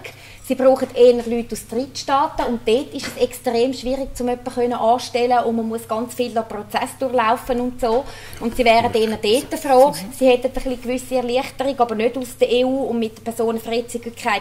Das läuft sowieso und auf das ist man nicht einmal angewiesen. Ich habe es vorhin glaube ich, schon erwähnt, etwa nur 12 Prozent der Zuwanderer total sind wirklich so Fachkräfte. Und ähm, nur 20% der Zuwanderer besetzen eine Stelle, die nicht vom Schweizer kann besetzt werden kann. Da gibt es auch Erhebungen dazu. Also warum ist der Economus Arbeitgeberverband, Gewerkschaften also eigentlich geschlossen ist die Wirtschaft gegen die Initiative? Ich glaube einfach, weil gerade jetzt auch unser Bundesrat Winnetou Keller Sutter halt da wirklich auch Angst macht und zum Teil mit falschen Zahlen operiert und weil viele Leute sich sagen, ja, ich bin ganz auf der vorsichtigen Schiene. Ich sehe zwar trotzdem, was das alles für Nachteile bringt, die Zuwanderung, dass unsere Sozialwerke überlastet sind, dass die Landschaft verbaut wird, dass die Leute von, von unseren eigenen auf die Straße gestellt werden im Arbeitsprozess. Das sehen sie vielleicht schon ein, aber sie, sie lassen sich dann halt gleich einlullen von diesen Wirtschaftsverbänden, die halt auch von dem Ganzen natürlich sehr profitieren. Und, und ähm, es wird wirklich von der, von der Gegenseite auch mit falschen Zahlen operiert. Und, und eben die, die Stimmung mache ich halt, die Panik mache ich, wo, wo ich auch sehr schade finde, wo ich das Gefühl habe, das ist jedes Mal, bei all diesen Abstimmungen ist das der Fall gewesen, auch also damals bei der Masseneinwanderung. Aber Herr Vorher das Wort geht. Die Wirtschaft ist dagegen, aber macht eigentlich Panik. Oder wie sehen Sie das? Ja, ich muss jetzt zum Schluss doch noch ein bisschen Stimmung machen, Nina. Also einerseits, die sind die Landschaften so wichtig. Hast du eine von diesen drei Initiativen unterstützt, wo es um den Schutz der Landschaften gegangen ist in der Schweiz. Ich nehme es nicht an. Die SVP nicht, darum kann ich es nicht ganz abnehmen, was du sagst, oder? Dass es jetzt wirklich um die Landschaften geht. Mir geht es tatsächlich um die Landschaft und ich sage, mit deren Initiative werden unsere Landschaften gar nicht geschützt, weil es kommen am Schluss gleich viele Leute, sie kommen einfach über Kontingent. Jetzt hast du gesagt voran, ja, die Unternehmen haben das Problem, wie sie wollen ihre Leute aus Drittstaaten. Wie funktioniert es jetzt bei den Drittstaaten? Dort funktioniert es ja mit Kontingent. Dann hast du gesagt, ja, das ist aber auch ein Problem. Sie wollen dort mehr Lockerungen. Jetzt wollen wir für die EU auch Kontingent einführen. Dann wollen wir also die Bürokratie und die Administration eben genau auch für die EU-Länder einführen, wenn unsere Unternehmen Arbeitskräfte braucht. Also da muss ich jetzt ein bisschen auf den Widerspruch in der Argumentation hinweisen und das deutet mir auch ein bisschen darauf hin, dass es halt, und ich muss jetzt doch ein bisschen deutlich sagen, dass die Initiative ein bisschen, ein Pfusch ist. Ich verstehe aber die Motivation, oder, nach der Masseneinwanderungsinitiative, wo nicht umgesetzt worden ist, wie wir in der Schweiz eigentlich demokratisch miteinander umgehen. Verstehe ich den Frust Und ich verstehe auch, dass wir nachher so eine Initiative eingereicht haben, aber dieser Initiative merkt man eben den Frust ein bisschen zu frisch an. Und wo ist der Pfust nochmal ganz genau? Also ja, dass man einfach, dass man argumentiert mit Ausländern, oder? Nina hat jetzt vorhin auch noch Kriminalität ins Spiel gebracht. Man weiß, wenn man die Zahlen anschaut, dass die EU-Bürger bei uns nicht die Kriminellen sind, wenn man schon will auf Nationalität abbrechen. Aber das geht ja, äh, und in dieser Initiative geht es um die EU, oder? Also das Kriminalitätsargument funktioniert da überhaupt nicht. Vielleicht ähm, ja. Fair Düsel, weil ja, sie muss ja eine Kolumne kritisieren, oder? Das stimmt eben nicht. Ja, Aber also ich, ich habe eine Kolumne von Ihnen im Kopf, wo Sie sagen, die Eritreer sind sehr kriminell ja, in der Schweiz. Ja. Das wäre das Argument, aber nicht die EU-Bürger. Also das kann da nicht verheben, das Argument. Oder Wie gesagt, äh, ähm, es, es, ist natürlich, es kommt sehr auf Delikt dort drauf an. Oder? Da müsste man jetzt, wenn man es ganz genau anschauen aber das würde jetzt da den Rahmen sprengen, dann müsste man wirklich jedes Delikt anschauen. Bei Gewaltdelikt beispielsweise ist sicher auch natürlich ein grosser Teil aus dem Balkan, aber das müsste man wirklich je nach Delikt anschauen. Aber was, was eben, das habe ich jetzt sogar gesagt, mhm. aber beispielsweise, ähm, was auch noch nicht vergessen ist, dass viele Ausländer auch im AHV-Alter zum Beispiel Ergänzungsleistungen beziehen. Und wir haben jetzt schon ein Problem in unserer AHV und vorhin hast du ja gerade gesagt, Thomas, dass, ähm, wenn, dass es eigentlich über Kontingent ja eigentlich genauso viele Leute wahrscheinlich reinkommen und dass es gar kein Problem ist. Also hast du eigentlich uns gerade zugespielt, den Ball. Wie du gesagt hast, das ist gar nicht so das Problem. Nehmen wir jetzt mal an, worst case, wir müssten es äh, kündigen die, die Abkommen, dass das dann eigentlich da wegen dem Das ist Worst Case. Ich nehme dich beim Wort nicht. Ja. Ich nehme dich beim Wort. Ja, ich sehe es auch so. Das, das wäre der Push, den er aber angesprochen ja, hat, oder? Genau, die Initiativmacher gar nicht klar ist. Wollen wir jetzt künden, wollen wir jetzt neue, komplizierte Verträge machen? Also der ja. Push wäre vielleicht noch das Hauptargument jetzt vom hervor. Genau, aber eben, ich sage jetzt nur, wenn es jetzt sogar so wäre, dass das Szenario wieder eintreffen, dass selbst dann nicht das Problem da wäre, weil er ja selber gesagt hat, dass man die Leute mit dem Kontingentsystem genauso reinholen kann dass er gar nicht so ein Problem sieht eigentlich für die Unternehmen. Und diese Meinung teile ich absolut. Und dann kommt noch dazu, dass natürlich... Du hast ja gesagt, ähm, sie haben ein Problem. Das hast du ja vorhin, Entschuldigung. Ich muss dich jetzt beim Wort Jetzt warte halt, die Leute über 50 beispielsweise, die, ähm, das ist jetzt einfach ein Fakt, dass die zu teuer werden, dass einfach viele halt Unternehmen, gerade grosse Unternehmen, denen kündigen und ähm, auch das, mit der Entlassungsrente von der Kellersutter, da geht man völlig in die falsche Richtung meiner Meinung nach, weil dann haben ja die Unternehmen noch mehr Legitimation, um einfach jemanden auf die Straße zu stellen, weil er kommt dann eine Entlassungsrente über und da kann man natürlich eine EU-Arbeitskraft einstellen, wo man dann 10 bis 20 Prozent weniger Lohn kann zahlen Und das ist wirklich eine Entwicklung, die mir Angst macht. Und ich glaube einfach, wir dürfen unseren Wohlstand nicht so aufs Spiel setzen, wo unsere Vorfahren so gesagt äh, erarbeitet haben. Und ähm, ich muss ehrlich sagen, ähm, äh, ich es gibt so viele Aspekte, die da reinfließen, oder? Es ist ja, wir haben jetzt einfach verschiedene Punkte rausgepickt, aber die, die machen mir Sorgen. Also, also wenn, wenn ich, die Entlassungsrente müssen wir jetzt nicht mehr ansprechen, das ist ja. wirklich nochmal ein ganz ja. eigenes äh, Thema, aber vielleicht noch ein Grundsatz zum Schluss. Und dann kommen wir dann zu den Fragen vom Publikum. Also ich, äh, so, ich, ich lasse der Nina dann das Schlusswort. Das beide haben Schlusswort, das war einmal abgemacht. Nein, vielleicht noch am Schluss äh, ein Gedanke, der noch etwas Neues aufbringt. Und zwar könnte man sagen, die Initiative tut sicher dazu beitragen oder könnte dazu beitragen, das haben Sie äh, mir gesagt beim Eingangsgespräch, dass die Schweiz sich weiter abschottet. Und das Image von der Schweiz äh, wollen wir nicht. Also wir wollen nicht weiter in der, in der, in der Welt dastehen als Insel, in Europa dastehen als Insel. Also mal die Abschottungsangst, dass im Prinzip die Schweiz sich ins Off katapultiert. Das könnte man sagen mit dieser Initiative. Sich weiter auf wie ein Igel zukapselt und einen eigenen Weg geht und sich eben eigentlich abschottet von Europa. Frau mhm. Fiedüsel, sehen Sie die Gefahr gar nicht? Nein, also von dem habe ich wirklich keine Angst, weil eben, wie, wie ich schon erwähnt habe, ich habe wirklich auch viele Bekannte auch in EU-Staaten, und niemand hat mir bis jetzt gesagt, er hat das Gefühl, wir tun uns abschotten und ähm, wir tun da unsere Beziehungen aufs Spiel setzen. Im Gegenteil, ich komme eigentlich immer Inputs über von Leuten, die sagen, ähm, hey, tönt ähm, euch Sorge geben und ihr äh, sind ein Erfolgsmodell, auch mit eurer direkten Demokratie und mit eurem Milizsystem und schaut, dass das so bleibt. Es gibt eben gerade Unternehmen, zum Glück jetzt auch das, was ich im Moment dafür arbeite, wo wirklich auch mehr auf Schweizer Management setzt, auch aus solchen Gründen, wie natürlich die Akzeptanz für das Milizsystem zum Beispiel dann viel mehr da ist. Und also ich habe überhaupt nicht das Gefühl, dass uns so ein Image anlastet. Im Gegenteil, die Leute sagen auch, ähm, das ist eigentlich unser Erfolgsmodell, unsere Neutralität und eben unsere direkte Demokratie und ähm, das macht uns auch aus und man hat jetzt gerade gesehen in dieser Corona-Krise, dass man eben auch wirklich auch, auch ein muss für sich selber schauen, weil es sonst einfach nicht funktioniert und das ganze System kollabiert. Mhm. Aber eine Umfrage jetzt von der Schweiz am Wochenende habe ich gelesen, bei eben allen grossen Wirtschaftsführern, jetzt von der UBS, von ähm, Novartis, all die sind eigentlich gegen die Begrenzungsinitiative. Eben aus dem Grund, weil man keinen Bruch mit Europa eingehen will. Mhm. Ich glaube, der Verwaltungsratspräsident von der Swiss Life, wo Sie arbeiten, ist auch der Einzige, der sich eben nicht geäußert hat bei dieser Umfrage. Ähm, er hat sich zurückgehalten, aber sonst muss man schon sagen, alle grossen Wirtschaftsführer sind eigentlich genau aus dem Grund, weil sie, weil sie nicht brechen mit Europa, gegen die Initiative. Mhm, mhm. Ja, eben, wie gesagt, ein Verbruch ich kann meines Erachtens keine Rede sein, weil an diesen Verhandlungen hat die EU mindestens so viel Interesse wie wir. Und eben, wie gesagt, sind auch Nachverhandlungen möglich und sogar vorgesehen. Und ich sehe einfach das Angstszenario sehe ich nicht so ganz, ähm, wo man jedes Mal bringt von der Gegenseite her. Ich habe sogar wirklich äh, eher das Gefühl, viele Wirtschaftsverbände, die schließen sich jetzt einfach der Gegenmeinung an, weil, weil sie das Gefühl haben, ja, wir wollen nicht im, im gleichen Lager sein wie die SVP als Einzige und wie da der Anti-SVP-Reflex ein bisschen spielt. Und und gewisse haben vielleicht noch persönliche Interessen, wie sie jetzt halt gerade in einer internationalen Unternehmung sind, die extrem auf die EU-Fachkräfte angewiesen sind und sich darum ein bisschen von der, unserer Partei abspalten, aber das sind nur Einzelpersonen und ähm, so gesehen, ähm, ich, ich, sehe die Panikmache wirklich nicht und, und ähm, die Gegenseite mhm. kommt auch immer nur mit dem Konjunktiv. Die letzte Frage noch Herr Voraus, Sie haben vorhin drauf geschrieben, aber mal, die Sorge um den Bruch äh, mit Europa, haben Sie mir gesagt, das ist Ihnen eine Sorge. Ist auch berechtigt von dieser Seite her, der Bruch mit Europa, ist das etwas, was Sie beschäftigt? Würden Sie das befürchten, wenn die Initiative angenommen wird? Also ich persönlich würde es ganz schlimm finden, wenn wir würden uns weiter von Europa wieder distanzieren.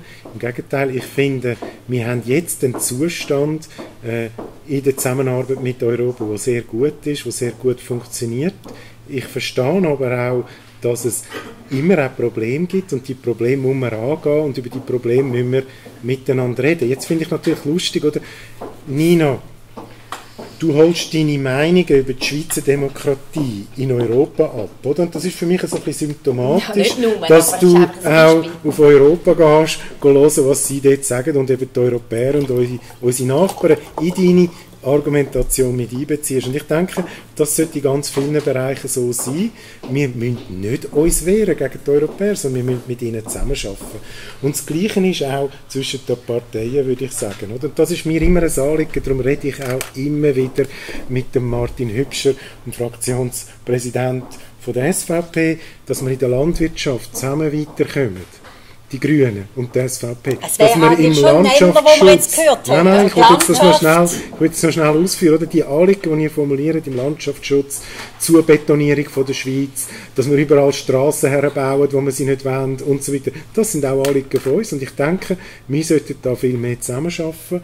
Wir sollten einander gegenseitig ernst nehmen in diesen Anliegen und die Anliegen miteinander bewerkstelligen. Das ist eigentlich noch ein konstruktiver Vorschlag von Herrn. Wir müssen Frau Ferdus noch etwas dazu sagen. Ja, aber unser Verhältnis zur EU äh, und zu der Umgebung, unsere außenpolitischen Beziehungen, die müssen wir nicht aufs Spiel setzen, um diese Probleme zu lösen, sondern diese Probleme können wir miteinander lösen. Also ein Freundschaftsangebot vom Herrn Pfarrer, wenn die SVP und wir wo eigentlich die SVP die Grünen zusammen ein Kernthema hätten. Das würden Sie schon ja. auch so sehen, oder? Ja, also ich kann das nur unterstützen. Also ich denke, es ist wichtig, dass wir zusammen arbeiten und das machen wir ja teilweise auch im Kantonsrat. Und wir haben sicher auch Übereinstimmungen, ähm, gerade jetzt äh, mit unseren Bauern beispielsweise bei gewissen Anliegen.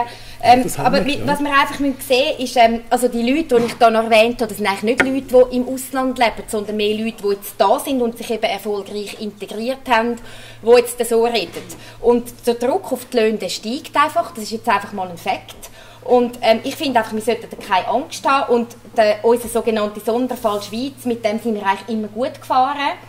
Und, ähm, aber eben wie gesagt, ich unterstütze das, dass wir zusammen arbeiten. Und darum habe ich ja auch eingangs gesagt, dass ich eigentlich gehofft hätte, dass die Grünen jetzt auch für so eine Initiative wären, aus, aus den erwähnten Gründen. Und, und der Thomas Vorher hat ja gewisse Sympathien geäußert. Und ich nochmal schnell davon reden, warum eigentlich, dass wir es nochmal alle ganz deutlich verstehen, sind die Grünen nicht für die Initiative. Wenn sie ja gegen die Betonierung auch wären. Ja, weil die Probleme, die die SVP zum Glück anspricht, die kann man mit dieser Initiative nicht lösen. Sie werden, weniger, sie werden nicht weniger Zuwanderung haben und wir richtet aber, wir gehen Risiken ein, oder? Und ich will da gar nicht Angst machen. Ich rede auch nicht im Konjunktiv, oder? Sondern ich muss einfach sagen, ihr wisst auch nicht, was passiert. Die sagen es einfach, oder?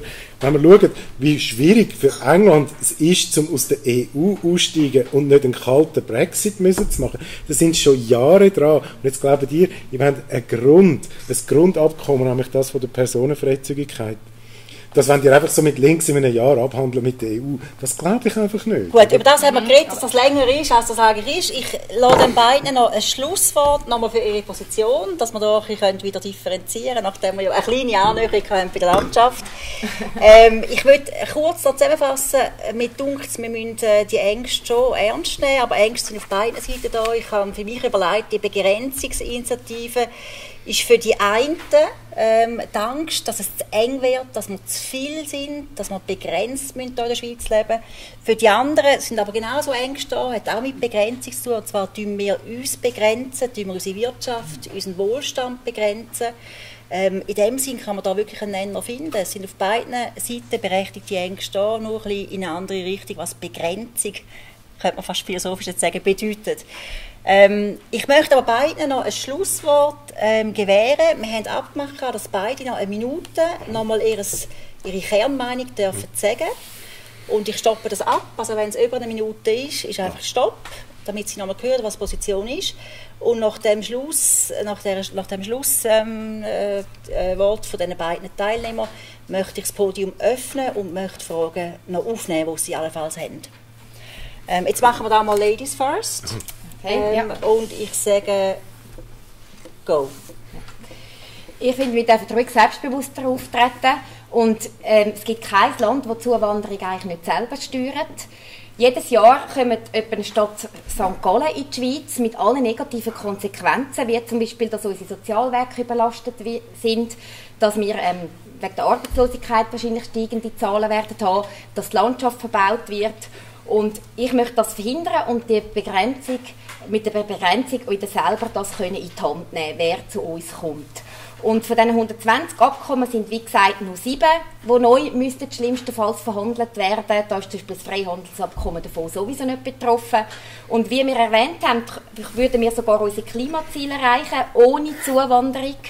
Und für mich ist es einfach wichtig, dass wir wieder selber können bestimmen können, wer wir möchten, möchten im Land haben. Und das hat mit Rassismus gar nichts zu tun, sondern damit, dass ich eigentlich in zehn Jahren nicht 10 Millionen Schweiz möchte haben in unserem kleinen Land. Stopp, und das ist perfekt. das ist genau wie du, das ist Abfall. gut, jetzt schauen wir, ob es der Fahrer auch so gut macht. Jetzt machen wir noch ein nervös. Nein, Sie dürfen gehen das Positive an dieser Initiative ist, dass die SVP sagt, welche Probleme wir in diesem Land haben. Insbesondere eben auch nicht nur mit der Zuwanderung, also, sondern das ist ein Problem, das ihr seht, sondern wir haben ganz viele andere Probleme und die haben ja mit dieser Initiative benannt. Jetzt der Fehler ist, dass man das alles auf Zuwanderung abstellt, dass man nachher sagt, ja, die Wanderung ist ähm, die Ursache für das, für das Problem, für das Problem, für das Problem. Ich glaube, da nehmen wir uns ganz viele Handlungsoptionen aus der Hand, geben wir aus der Hand, weil wir können die Sachen selber lösen. Wir sind nicht von der Zuwanderung abhängig, wir können die Sachen nicht selber in die Hand nehmen. Ich glaube auch, dass die Initiative Zuwanderung nicht beschränkt. Wir werden einfach eine andere Form von Zuwanderung haben, über Kontingent. Und das wird unter Umständen nachher genau gleich viel sein wie voran. Also ich glaube, am Schluss rennen wir da einfach gegen eine Wand. Es bringt gar nichts. Die ist zu wenig ausgearbeitet, die Initiative. Es ist zu wenig durchdacht und sie bringt unsere Wirtschaft tatsächlich in eine unsichere Situation. Und die Stopp. möchte ich vermeiden. Super, also auch fast perfekt. Danke vielmals ähm, für die beiden engagierten Worte. Jetzt äh, die Frage ins Publikum. Genau, zuerst ein Applaus. Danke, Nina. Vielleicht, wer eine Frage hat, gerne aufstehen und laut und deutlich sagen, was die Frage ist. Gerne, ja, der Herr dort. Also, äh, vielen Dank für die interessante Diskussion. Äh, ich habe ich hab mich einfach die gefragt, ob die Tatsache nicht ein bisschen zu kurz gekommen ist, dass erstens mal die Personenfreizügigkeit eine sehr marktwirtschaftliche Lösung ist und in Europa selber auch sehr umstritten ist politisch. Also ich kenne einen Haufen Leute, aus Europa, die sagen, oh, wenn sie nur könnten über so etwas abstimmen, sie würden sofort das abschaffen, weil es einfach sehr unsozial ist. Also es hat sehr sozial negative Konsequenzen. Und das wird immer wieder diskutiert in der EU, also im Fernsehen und so weiter. Also das ist mal das eine. Also unsozial noch schnell, will? Weil es einfach zu äh, Migrationsflüssen führen, die unvorteilhaft sind für zum Beispiel Rumänien, wo keine Ärzte mehr hat und äh, Fachkräftemangel und in anderen Ländern, einfach weil es mehr Lohn gibt, äh, Zuwanderung. Und das andere ist auch, äh, es ist ganz klar, warum dass jetzt äh, bei uns die Unternehmen dagegen sind, weil für sie ist das ein Eldorado, so eine Freizügigkeitslösung. Die müssen sich immer weniger kümmern um die hiesigen Arbeitnehmer. Also die ziehen sich immer wieder zurück, mehr zurück aus der Verantwortung und äh, können aus dem Pot einfach sich bedienen. Das wäre eine Frage, oder beide Fragen werden hervor, oder? Ja, also ich frage mich einfach, warum das gerade politisch linke Parteien das nie ins Spiel bringen. Ja, danke vielmals. Das ist eine wichtige Frage, oder? Dass man sich Sorgen macht um also das ist jetzt eine sehr soziale Frage gewesen, die Sie gestellt haben, wenn ich das richtig verstanden habe. Oder sagen wir zum Beispiel, und das Sie, schreiben Sie ja auch im Argumentarium für die Initiative, zum Beispiel unsere Wohnungspreise werden immer teurer und ähm, durch Zuwanderung steigt natürlich der Druck auf die Wohnungen und die Preise gehen rauf. Das ist ein Argument, oder? Ich glaube aber nicht, wenn wir jetzt statt 20.000, äh, statt 50.000 äh, Zuwanderung pro Jahr 30.000 hätten, glauben Sie wirklich, unsere Wohnungspreise würden dann äh, sinken. Also meine, in der Theorie schon, aber in der Praxis glaube ich nicht. Es gibt so viele andere Faktoren, die unsere Wohnungspreise auftreiben. Das glaube ich nicht, dass es mit dem zu tun hat. Und es sind ganz viele Sachen, oder? Aber es sind wichtige Themen. Wir müssen schauen, dass wir keine Dumpinglöhne haben. Das müssen wir tatsächlich. Aber verhindern wir das, indem dass man Zuwanderung wird, an der Zuwanderung etwas verändert, dass man es jetzt über Kontingent macht und nicht über Personenfreizügigkeit. Das sind Fragen, die ich habe. Ich bin nicht sicher, ob man da wirklich eine Änderung anbringen mit dem. Sorry, wenn ich da noch Ja, bitte. so gegenkontern. Mhm. Ich denke mir, es führt einfach dazu, dass sich die Unternehmungen da immer weniger verantwortlich fühlen für die hiesige äh, Angestellte.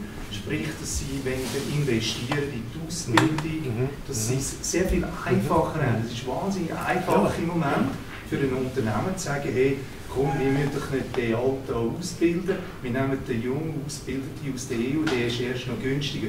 Diese Mechanismen werden viel, meiner Meinung nach extrem unterschätzt. Und es ist eine sehr marktwirtschaftliche Lösung. Also, das ist, also ich würde sagen, nicht einmal die Amerikaner haben so eine Freizügigkeit, wie wir in Europa haben, mit der Personenfreizügigkeit. Und das wird nie diskutiert. Ja, das müsst ihr da lang schauen bei den Schälen eben. Eldorado, marktwirtschaftlich, ein harter Wettbewerb. Was sag, ist eigentlich noch ein gutes Argument. Ich Was finde, das ist das? Positive, oder? Das ist das, was ich gesagt habe. Das Positive von dieser Initiative ist, dass Sie jetzt im Grunde genommen alle die Probleme, die wir zum Teil seit 50 Jahren thematisieren, wie Wohnungspreise, oder? Dumpinglöhne, ähm, Leute, die gut ausgebildet sind, weil sie älter werden, nicht mehr angestellt werden und durch günstige Junge, die quasi eingelernt werden, angestellt, äh, ersetzt werden und so. Das sind alles grosse gesellschaftliche Probleme, die wir haben. Und mein Vorschlag ist eben, packen wir es doch an miteinander. Das ist das, was ich vorhin gemeint habe. Statt, dass wir alles auf die Ausländer abstellen und auf die Zuwanderung, weil ich glaube nicht ganz, dass das jetzt einfach die goldige Lösung ist. Oder? Wenn wir die Grenzen würden dicht machen ich glaube nicht, dass sich dann verbessert. Aber noch oder? zum Aber- Logenschutz? ja, Oder genau. Sie eine direkte Antwort? Ja, also ich, ich habe das, was der Herr gesagt hat, wirklich nur unterstützt. Ich meine, es liegt auch auf der Hand, dass Zuwanderung da ein Faktor ist und dass Perso- Personenfreizügigkeit eben nicht nur Vorteile bringt. Und klar, wenn ich jetzt einfach in einem Grossunternehmen rein egoistisch als Manager würde denken, dann würde ich auch sagen, ich möchte eine möglichst grosse Auswahl haben. Also nehme ich lieber nicht nur Schweizer aus dem Pott, sondern möchte möglichst aus der ganzen EU können auswählen Und dann kann ich dann sowieso noch weniger Lohn zahlen. Also profitiere ich eigentlich nur. Aber ich finde eigentlich, wir Schweizer, wir sollten wirklich auch ein bisschen für unsere Arbeitnehmer schauen. Und ähm, es ist sicher so, dass... Sicher, das. Genau, und es ist sicher so, dass Zuwanderung da ein großer Faktor ist, der da reinfließt, in all die Themen. Natürlich ist es nicht der einzige Faktor, da gebe ich dem Thomas vor recht, aber es ist sicher ein großer Faktor. Ich meine, dass Mietzinsen steigen, dass, dass die Verbauung zunimmt, dass unsere Sozialwerke belastet sind, das, sind, das spielt Zuwanderung natürlich überall massiv rein. Nur schnell noch eine Frage, es ist aber komplex, also zum Beispiel Stichwort Lohnschutz, oder? der Gewerkschaftsbund ja. hat das aufgebracht. Also der Lohnschutz ist ja eigentlich eingeführt worden, genau wegen der Personenfreizügigkeit und im Prinzip ist die Gefahr da, dass wenn eben quasi die Initiative durchkommt, dass eben dann genau die Dumpinglöhne eigentlich dann kommen, weil der Lohnschutz gleichzeitig auch aufgehoben wird. Das wäre dann etwas Kritisches mhm. gegenüber der Richtung, wo sie gehen wollen. Also es ist schon ein komplexer eigentlich. Also gerade der Arbeitnehmerverband hat das Thema aufgebracht. Mhm. Ja, eben, ich glaube, ich sehe das definitiv anders und ich kenne auch viele Unternehmen, die das anders sehen, die wirklich halt sagen, ich meine, unser Milizsystem ist so viel wert und generell unsere direkte Demokratie, ja, viele, viele im Ausland wären froh, sie, sie hätten es wie wir und ich glaube, wie gesagt, wir sagen ja gerade, wir, auch, dass wir gegen die Entlassungsrente sind. Wir möchten unseren Arbeitnehmern Sorge tragen und wir sind auch für einen Inländervorrang gewesen, unsere Partei. Und wir finden auch, wir wollen die nicht einfach auf die Straße tun und ihnen noch eine Rente geben, weil die Leute wollen arbeiten, die wollen nicht eine Rente bekommen mit 50, oder? Und da vertrete ich halt absolut die Meinung, ähm, dass wir da ruhig ein bisschen auch für uns schauen wie das übrigens auch sehr viele andere Länder auch machen. Der Schutz von der eigenen Arbeitskräfte, vielleicht noch ein Wort und dann gehen wir nochmal ins Publikum. Ja, ich meine, da gibt es ein einen Grundunterschied zwischen dir und mir. Nina, und ich muss jetzt gerade doch ein bisschen pointieren, oder? Wir sehen die gleichen Probleme, aber du sagst wie, wir können gar nichts machen, wir müssen einfach an der Zuwanderung etwas ändern. Das ist aber nicht meine Ansicht. Das heißt ja quasi, wir sind handlungsunfähig. Wir können nur Zuwanderung ändern und durch das tun wir unsere äh, Dumpinglöhne verhindern und so weiter. Ich meine, ich teile ja die Ansichten vom Herrn. Also was Sie gesagt haben, da stimme ich Ihnen inhaltlich in allem zu. Ich möchte aber ich möchte aber eigentlich das selber in die Hand nehmen und sagen, wir haben zum Beispiel eine Initiative im Kanton Zürich gegen Dumpinglöhne. Wo war die SVP? Gewesen? Sie haben sie abgelehnt. Da kann ich euch eben nicht so ganz ernst nehmen, wenn ihr dann sagt, die sagen gegen Dumpinglöhne, oder? Ähm, wir haben die Vorlage gehabt, das war übrigens eine EVP-Initiative. Also, wir Gut, haben sie unterstützt. Also, also da muss ich einfach sagen, da müssen wir eigentlich dann ein bisschen konsequent Jetzt haben wir da ein bisschen Partei ja. also, wir gehen vielleicht nachher nochmal zum Publikum zurück. Zuerst gibt es da weitere Fragen. Jawohl. Also, Dolder ist mein Name. Ich bin sehr enttäuscht über den Bundesrat, die Parteien und über die Verbände.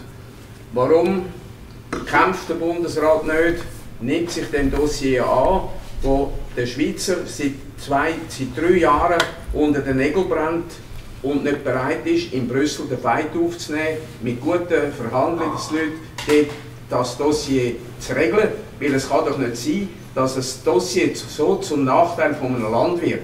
Kanada, Australien, Neuseeland, die haben andere Abkommen und das muss möglich sein, wir können ja denen sagen, alle, der ganze Rest von allen anderen Themen, vom Rahmenabkommen, und ich will noch den Herrn vorher fragen, ob er das auch noch die 32 Seiten graues Papier gelesen hat, äh, dass wir die gar nicht ändern wollen. Also das betrifft mich. Ich finde, er hat keine Kraft. Das enttäuscht mich. Also die Frage ist Herr Pfarrer, richtig? Ja. ja. Also jetzt sind wir beim Rahmenabkommen, wenn ich es ja, richtig verstanden habe. Oder? Ja, also ich habe die zwei, drei Seiten kann ich nicht auswendig. Also das gebe ich gern zu, oder? Und wir haben da die Schwierigkeit, dass wir sehr lange am Verhandeln sind und ich habe auch das Gefühl, jetzt der Herr Gassis, also es ist jetzt ein bisschen vermessen, wenn ich da beurteile, wie er es macht, oder? Ich habe jetzt von außen den Eindruck, er macht es nicht so gut. Also da stimme ich Ihnen zu, oder? Wir eigentlich, finden eigentlich auch, wir müssten da Fürsche machen und wir müssten zu, äh, zu Grundlagen, zu Verhandlungsgrundlagen kommen, wo wir am Schluss nachher auch einen Entscheid fällen. Und an dem Punkt sind wir einfach nicht. Aber vielleicht sprechen Sie mit dem ja auch etwas an. Sie sehen mit England und Brexit, da geht es auch überhaupt nicht für Sie. Und es ist offenbar so, dass man mit der EU einfach nicht zu viele Forderungen kann stellen kann. Man kann sagen, wir machen, den, wir machen den Schirm zu, wir treten aus, wir reden mit euch nicht mehr, das kann man gut machen mit ihnen. Aber wenn man will einen gemeinsamen Weg gehen, ist ein harter Verhandlungspartner. Und da glaube ich halt einfach, es ist blauäugig, wenn man sagt, ja, in einem Jahr haben wir dann etwas anderes und sonst muss man es künden. Oder? Also da, da gehe ich nicht ganz mit, sondern mit denen sie unterstützen und sagen, ja, es ist ein Problem, die Verhandlungen mit der EU kommen sehr schleppend voran und sogar wenn man wie forsch, wie der Boris Johnson hineingeht, sogar dann bringt es nichts. Oder? Bei uns sind wir jetzt eher so ein bisschen am Abwiegeln. Die Engländer Ja. Und der EU-Verhandlungsmann, die haben einfach keine Nachgiebigkeit. Die wollen sich im Moment gar nicht finden, aber vielleicht per Ende Jahr. Es, ist, es geht noch nicht drei Jahre, es geht jetzt erst, auch erst äh, noch nicht mal ein Jahr. Und sie hoffen ja bis Ende Jahr Lösungen noch zu Ja, finden. Und warum ist England austreten? Gerade wegen der gleichen Frage, wie wir eben ein Ja wollen. Gut, gibt es noch weitere Fragen aus dem Publikum? Dort hinten Herr. Ja, mein Name ist Staub. Ähm, ich habe mich klar entschieden, ich bin für die Begrenzungsinitiative. Ich habe bereits schon abgestimmt. Ich möchte aber auch festhalten, ich bin nicht SVP-Mitglied. Ähm, und ich will mich auch nicht abgrenzen von der SVP, aber für mich ist zwingend meine berufliche Erfahrung. Ich habe im Bankenbereich gearbeitet, bin vier Jahre im Ausland, bin in New York, gewesen, in London. Gewesen. Meine Erfahrung ist, dass wie sich Löhne südwärts tendieren. In den letzten 10, 15 Jahren. Äh, ganze Geschäftsfelder äh, sind aufgegeben worden oder werden aufgegeben. Und äh, letztendlich sehe ich auch für unsere Jungen, dass es schwierig wird, die Löhne können zu halten. Der Eingang von, oder die, die Ausländer, die in die Schweiz kommen, die kommen ja aus einem Grund, weil sie attraktive Jobs haben, weil sie attraktive Lohnangebote haben. Ich will Ihnen zwei Sachen sagen, die mir aufgefallen sind.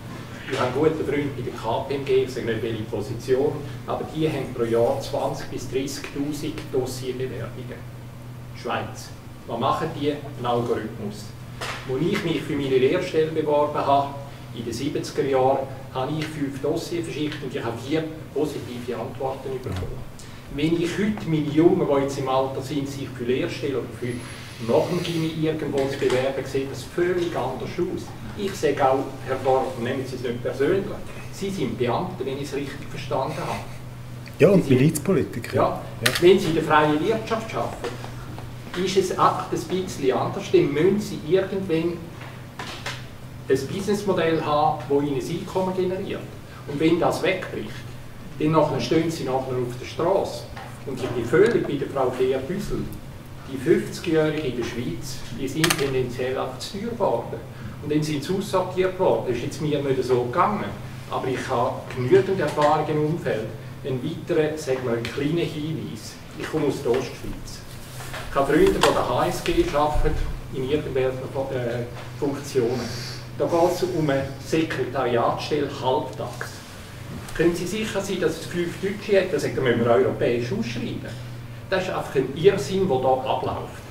Und je mehr dass wir von diesen Leuten in die Schweiz hineinholen, die keine Ahnung haben von unserem föderalen System, und wenn wir miteinander umgehen, desto mehr von diesen Problemen haben wir da. Und noch ein Aspekt, den ich sehe, Bruttosozialprodukt, sagen Sie, in den letzten Jahren ziemlich stark gestiegen. Das war ja auch das Argument von der Frau Leuthard, wo sie noch im Amt war. Das heißt, super, oder? Ich schaue auf das pro Kopf. Und wenn Sie es pro Kopf anschauen, ist das ein Desaster. Das geht südwärts. Und ich bin ganz klar der Meinung, unabhängig, ob ich jetzt Ja stimme für die Begrenzungsinitiative oder nein, die Schweiz kann den Wohlstand nicht mehr halten, wenn sie so vorwerkt, wie sie jetzt werkt. Für mich so klar, und vielleicht als persönliches Wort, dass Sie Luftverkehrsabkommen, Sie haben sich ja als Befürworter für die Wirtschaft da gegeben, Sie sind sehr wahrscheinlich moderate Grüne. Jetzt haben wir eineinhalb Milliarden gesprochen auf Berlin, dass man die Lufthansa kann unterstützen kann. Ich habe von Ihnen, aber auch von der SVP, nie gehört, dass man jetzt Druck aufgesetzt hat für ein Luftverkehrsabkommen mit Deutschland, wo irgendwo vernünftig wäre. Wenn wir mal etwas in der Hand haben, dann machen wir es nicht. Und das enerviert mich bis zum Anschlag. Gut, jetzt ist eine dicke Post. Richtig hervorgekommen, jetzt wir eine Gelegenheit haben, uns äh, entgegnen. Also ich, gehe einfach, ich nehme ein paar Punkte auf von dem interessanten Votum ähm, und tue es einfach ganz kurz etwas dazu sagen. Also einerseits haben wir an der Universität einen Kulturwandel. Man hat sehr lange jetzt immer ausländisch aufgeschrieben, ausgeschrieben Stellen. Es ist immer noch so, für eine normale Assistentenstelle 3'500 Stutz im Monat ähm, bewerben sich einmal 150 Leute aus allen Ländern. Ähm, weiterhin, oder? Ähm, das ist einfach Pflicht, man muss es so international ausschreiben. Aber man hat jetzt zum Beispiel bei den Professoren, fängt man auch wieder an mit Hausberufungen, wenn man sagt, wir haben da so viel Know-how bei uns quasi generiert, jetzt wollen wir das Know-how auch ein bisschen bei uns behalten, da gibt es wieder einen Kulturwandel. Dann Luftverkehrsabkommen, das ist ein frommer Wunsch, oder? Ähm, die Deutschen sperren einfach. Und sie sperren wirklich, oder? Also was, wenn es jetzt um die Anflugsrouten und alles bei uns geht, wir haben zurzeit einfach keine Chance. Gut, wir nicht zu lange über das nein, reden, weil das, das ist ein wirklich- Dossier. Vielleicht Da nochmal möchte ich nur einen halben Satz dazu zu sagen. dieser Konkurrenz aus dem Ausland und dass man sich bewirbt mit tausend Also, anderen und dass genau. das eigentlich äh, von dort her wirklich... Ähm, Ja, es ist natürlich jetzt KPMG, den der Herr erwähnt hat, oder? Das ist natürlich auch eine international sehr renommierte Firma. Ich glaube, sehr andere, kleinere Unternehmen und KMUs, die sieht es ein bisschen anders aus. Und zum Teil haben wir auch in verschiedenen Bereichen Fachkräftemangel. Und dort holen wir dann auch die Leute vom Ausland. Übrigens, auch Frau Martullo holt ihre Leute in Deutschland und schreibt regelmäßig in Deutschland aus. Ähm, ich meine, wir wollen ja eigentlich nicht ihre, die Praxis verbieten mit der Ja, aber, aber also. Frau Martula macht ich es noch etwas ja. Ich noch etwas sagen. Es ist ja eigentlich, ähm, das Abkommen geht ja in beide Richtungen. Also klar haben wir Bewerbungen aus dem Ausland, aber auch die Schweizer, die Schweizerinnen dürfen ja ins Ausland arbeiten. Es gilt ja auf beide Seiten. Ja, bitte. Beispiel.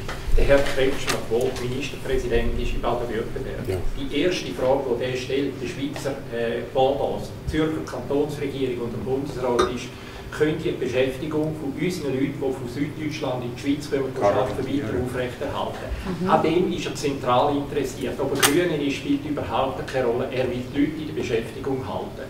Und wenn wir sagen, dass wir können nichts machen, also jetzt sprechen wir eineinhalb Milliarden. Swiss ist Cash-Cow vom Lufthansa-Konzern. Das ist ja nur ein Beispiel. Wir sind nicht dafür. Aber wir unternehmen nichts, um die Leute, um diesen äh, äh, deutschen Manager in der Schweiz irgendwann einmal den Spiegel vorzuhalten. Und ich sage natürlich, das ist eben auch das, was der Herr vorne geäußert hat. Wenn wir es noch könnten, dann macht es der Bundesrat nicht. Elegant sagt der Reset, Druck und dann passiert drei Jahre nichts. Also, Frau Feder-Düssel will dazu noch Genau. sagen. Frau Genau, ich kann Ihnen hat da, ich kann Ihnen da nur recht geben. Ich denke, es ist wirklich so, ich kenne auch Beispiele, weil von der Lehrstuhl noch erwähnt worden ist, wenn wir einen Deutschen, Deutsche auf dem Lehrstuhl haben, dann schauen sie natürlich auch bei den Assistenten, dass sie Deutsche nachziehen. Das ist jetzt einfach so, ich kenne x so Beispiele. Ist aber auch bei den Und- Italienern so, und das machen ja, ich alle. habe jetzt einfach ein Beispiel Das machen Ja, eben Schweizer- genau. machen Eben Schweizer im Ausland generell auch. aus der EU. Schon Und wir haben schlussendlich die höchsten Löhne da und wir haben das, die beste Lebensqualität. Und wie es gesa- gesagt worden ist, natürlich wollen sie vor allem die anderen hierher kommen. Und der Lohndruck, dass der steigt, das ist klar. Also heute ist es wirklich so, dass man, wenn man irgendwie, man kommt Dossiers von Bewerbern über, nicht nur von der Schweiz, von guten Fachkräften, sondern von Deutschland, von, von allen Ländern. Also die Konkurrenz ist viel grösser. Für, wenn, wenn, wenn meine Kinder sich mal werden bewerben, das ist ganz klar, das ist ganz anders als damals, als ich jung war. Das ist ein Fakt. Müssen wir mal von diesen Jobs, müssen wir aber von diesen Jobs vielleicht einmal reden, die die Schweizer nicht mehr machen wollen.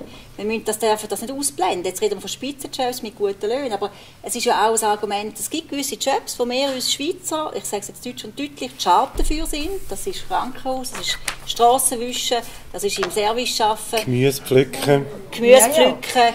Brau- Wir brauchen doch, also auch ein bisschen pointiert gesagt, die Ausländer auch für diese Jobs. Wir müssen auch von diesen Jobs reden, oder? Ja, natürlich. Und Da sagen wir auch gar nicht nein. Aber es ist ja so, dass es übrigens auch viele Schweizer gibt, die wirklich schauen müssen, dass sie noch irgendeinen Job bekommen und vielleicht auch froh werden, sie könnten halt ein bisschen niedriger Qualifizierten nehmen. Es ist ja nicht so, dass bei uns alles nur Top-Shots sind.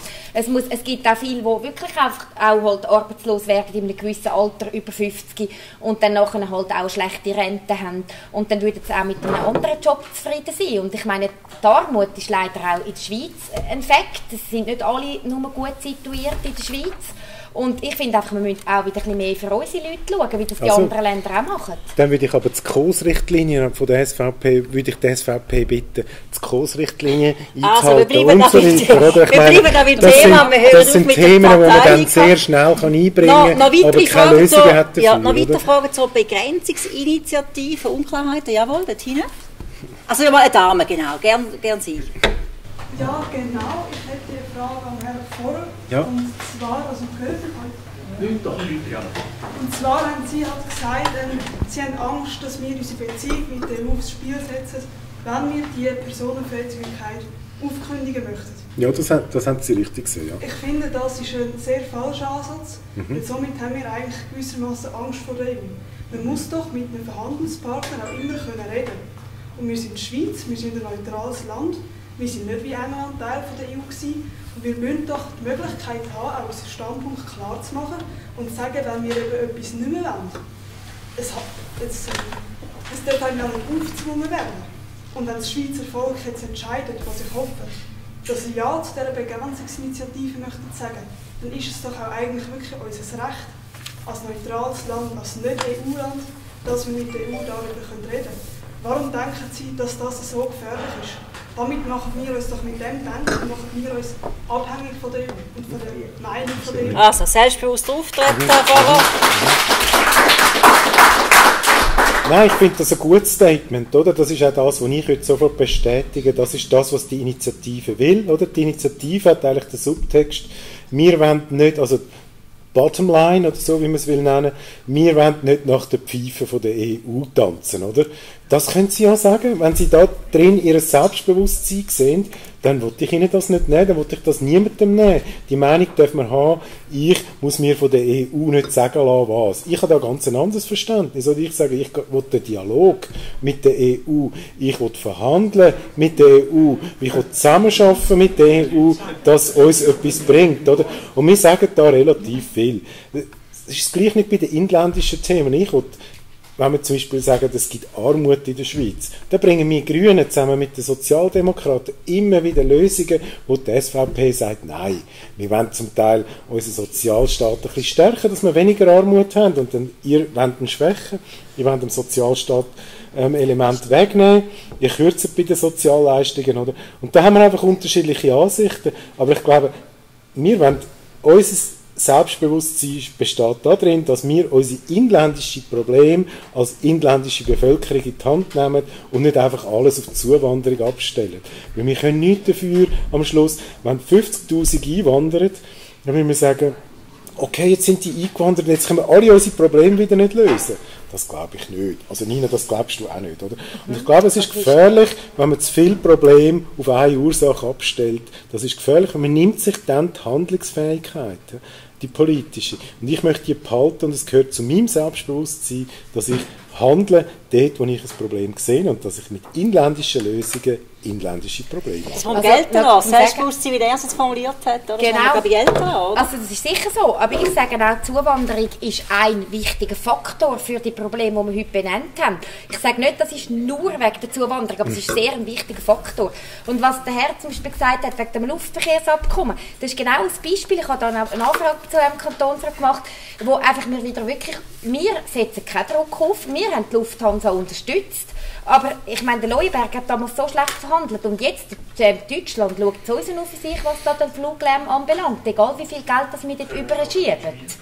Genau, und kommen aber dafür nachher noch in die Schweiz arbeiten, wie genannt wurde, ist da von Baden-Württemberg schauen sie schon, dass ihre Leute hierher kommen und, und ich denke einfach, es ist im Moment ein bisschen einseitig und es ist wirklich unser Recht, dass wir auch wieder können sagen hey, wir möchten das mhm. selber in die Hand nehmen und die eine Begrenzung einführen. Wir haben noch eine Frage gehabt, dann gerade die zweite, ja genau, dort hinten, gerne. Also meine Frage an auch Herr Voller. Oh, jetzt müssen wir nachher mal eins also, Wir müssen noch ein bisschen schonen. Ich befürchte, wir haben noch viel mehr Initiativen da rein.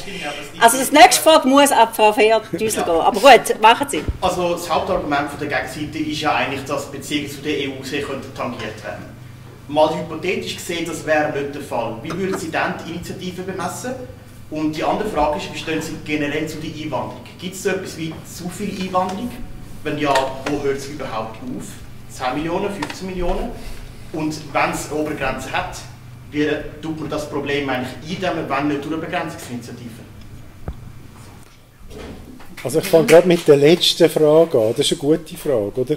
Ich meine, ich kann Ihnen natürlich nicht sagen, wie viel Einwanderung das wir wollen. Das ist klar, dass rein arithmetisch, also mathematisch, können wir ja nicht in einem Jahr zum Beispiel die Bevölkerung von der Schweiz verdoppeln. Also ich meine, das ist jetzt, oder, also da kann ich Ihnen jetzt das nicht sagen, oder? Aber grundsätzlich ist es so, die Frage, die Sie mit der Einwanderung stellen und sagen, ja, wie viel Einwanderung wollen wir Grünen oder wie viel Einwanderung wollen die anderen, das ist eigentlich die Frage nach dem Wachstum, oder? Wie viel Wachstum wollen wir? Und da kommen wir in einen ganz anderen Bereich. Wie viel Wirtschaftswachstum wollen wir? Wie haben wir investiert? Wie müssen wir nachher wieder aus diesen Investitionen auch wieder Rendite ziehen? Können wir das ohne Wachstum machen und so weiter? Da, da kommen wir in einen Bereich hinein, wo wir sehr viele Fragen stellen und das ist auch sehr komplex. Jetzt muss ich nochmal zurück zu Ihrer ersten Frage kommen. Können Sie es nochmal kurz sagen? Äh, ja, genau. Also, mal angenommen, Beziehungen zu der EU wären nicht tangiert in dem mhm. Sinne. Wie würden Sie die Initiative dann bemessen? Weil sind ja auch, wie schon gesagt, ja, ökologische Argumente darunter, die Sie ja auch befürworten.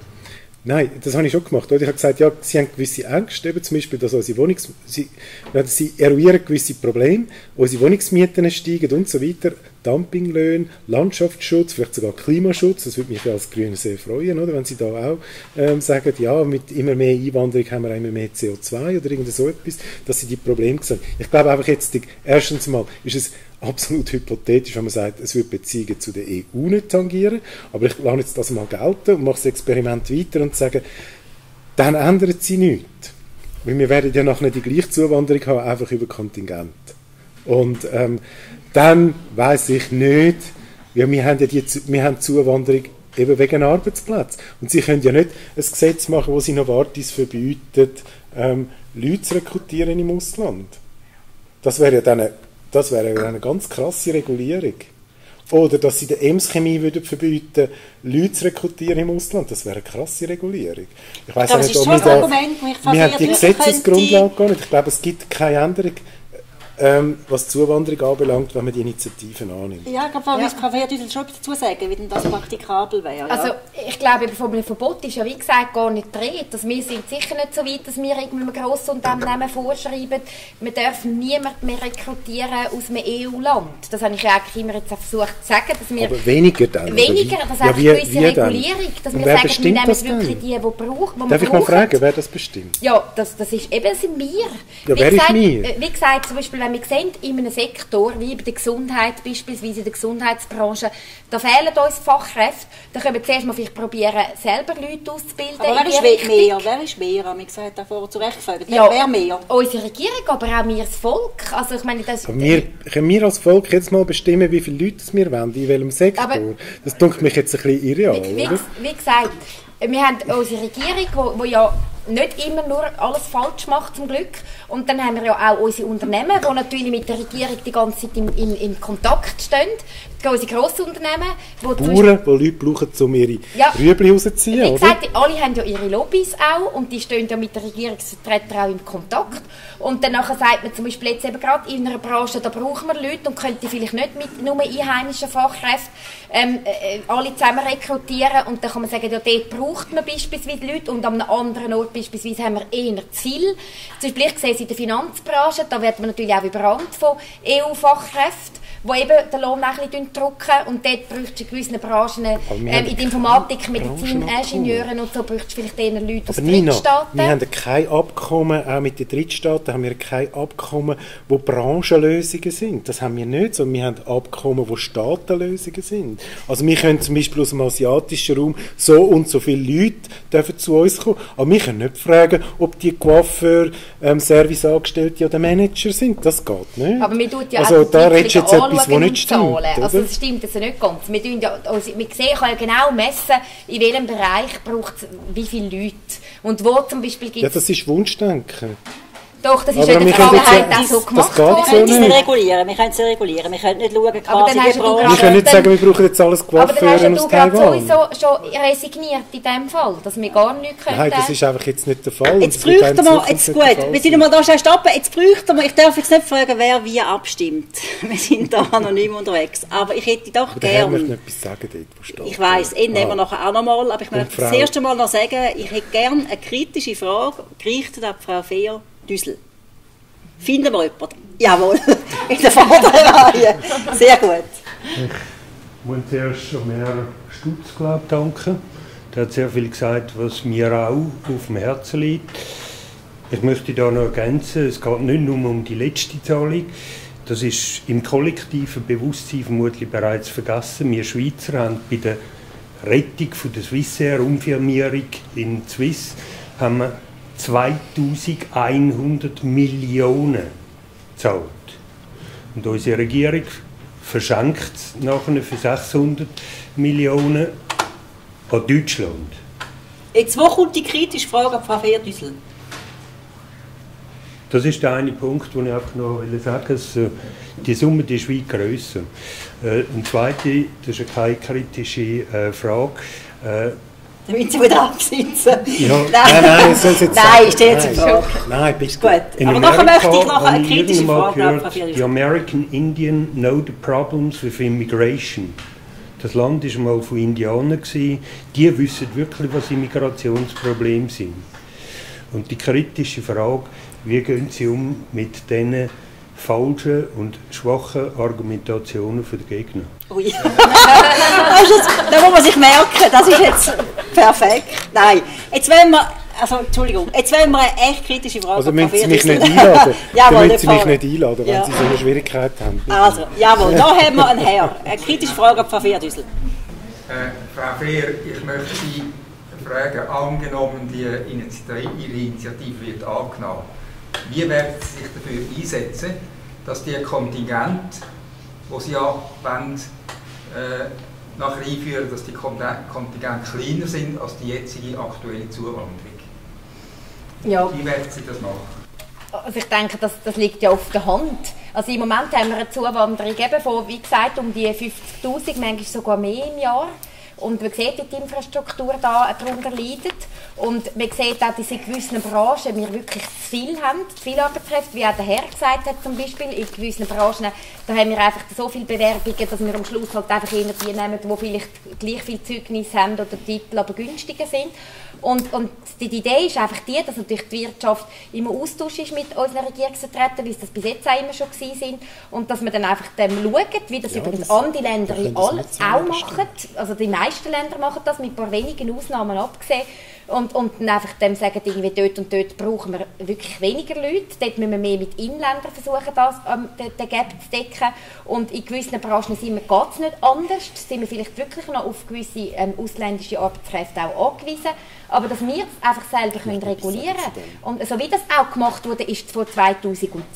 Dort haben wir nämlich schon mal eine Begrenzung gehabt und dort hat das sehr gut funktioniert. Also praktikabel, wie es das Frau Fehr Nein, es ist, einfach nicht, hat. es ist einfach nicht aufrichtig, wenn man sagt, man könne Kontingent nach Branche machen. Das ist nie der Fall gewesen und wird auch nie der Fall sein. Aber- das ist blauäugig. Und so können wir nicht argumentieren. Wir müssen, Kontingent sind immer aus Drittstaaten und es können verschiedene Unternehmen können anmelden, wie viele Leute das sie brauchen. Und wir können nachher nicht sagen, ähm, es dürfen nur Elektrotechniker oder Robotiker oder so in die Schweiz kommen. Das haben wir Also der. Fragesteller ist zufrieden mit der Antwort oder haben Sie noch eine Nachfrage stellen? Ich bin zufrieden. Ich will fragen Frau Fehr, was sie macht, damit das Kontingent.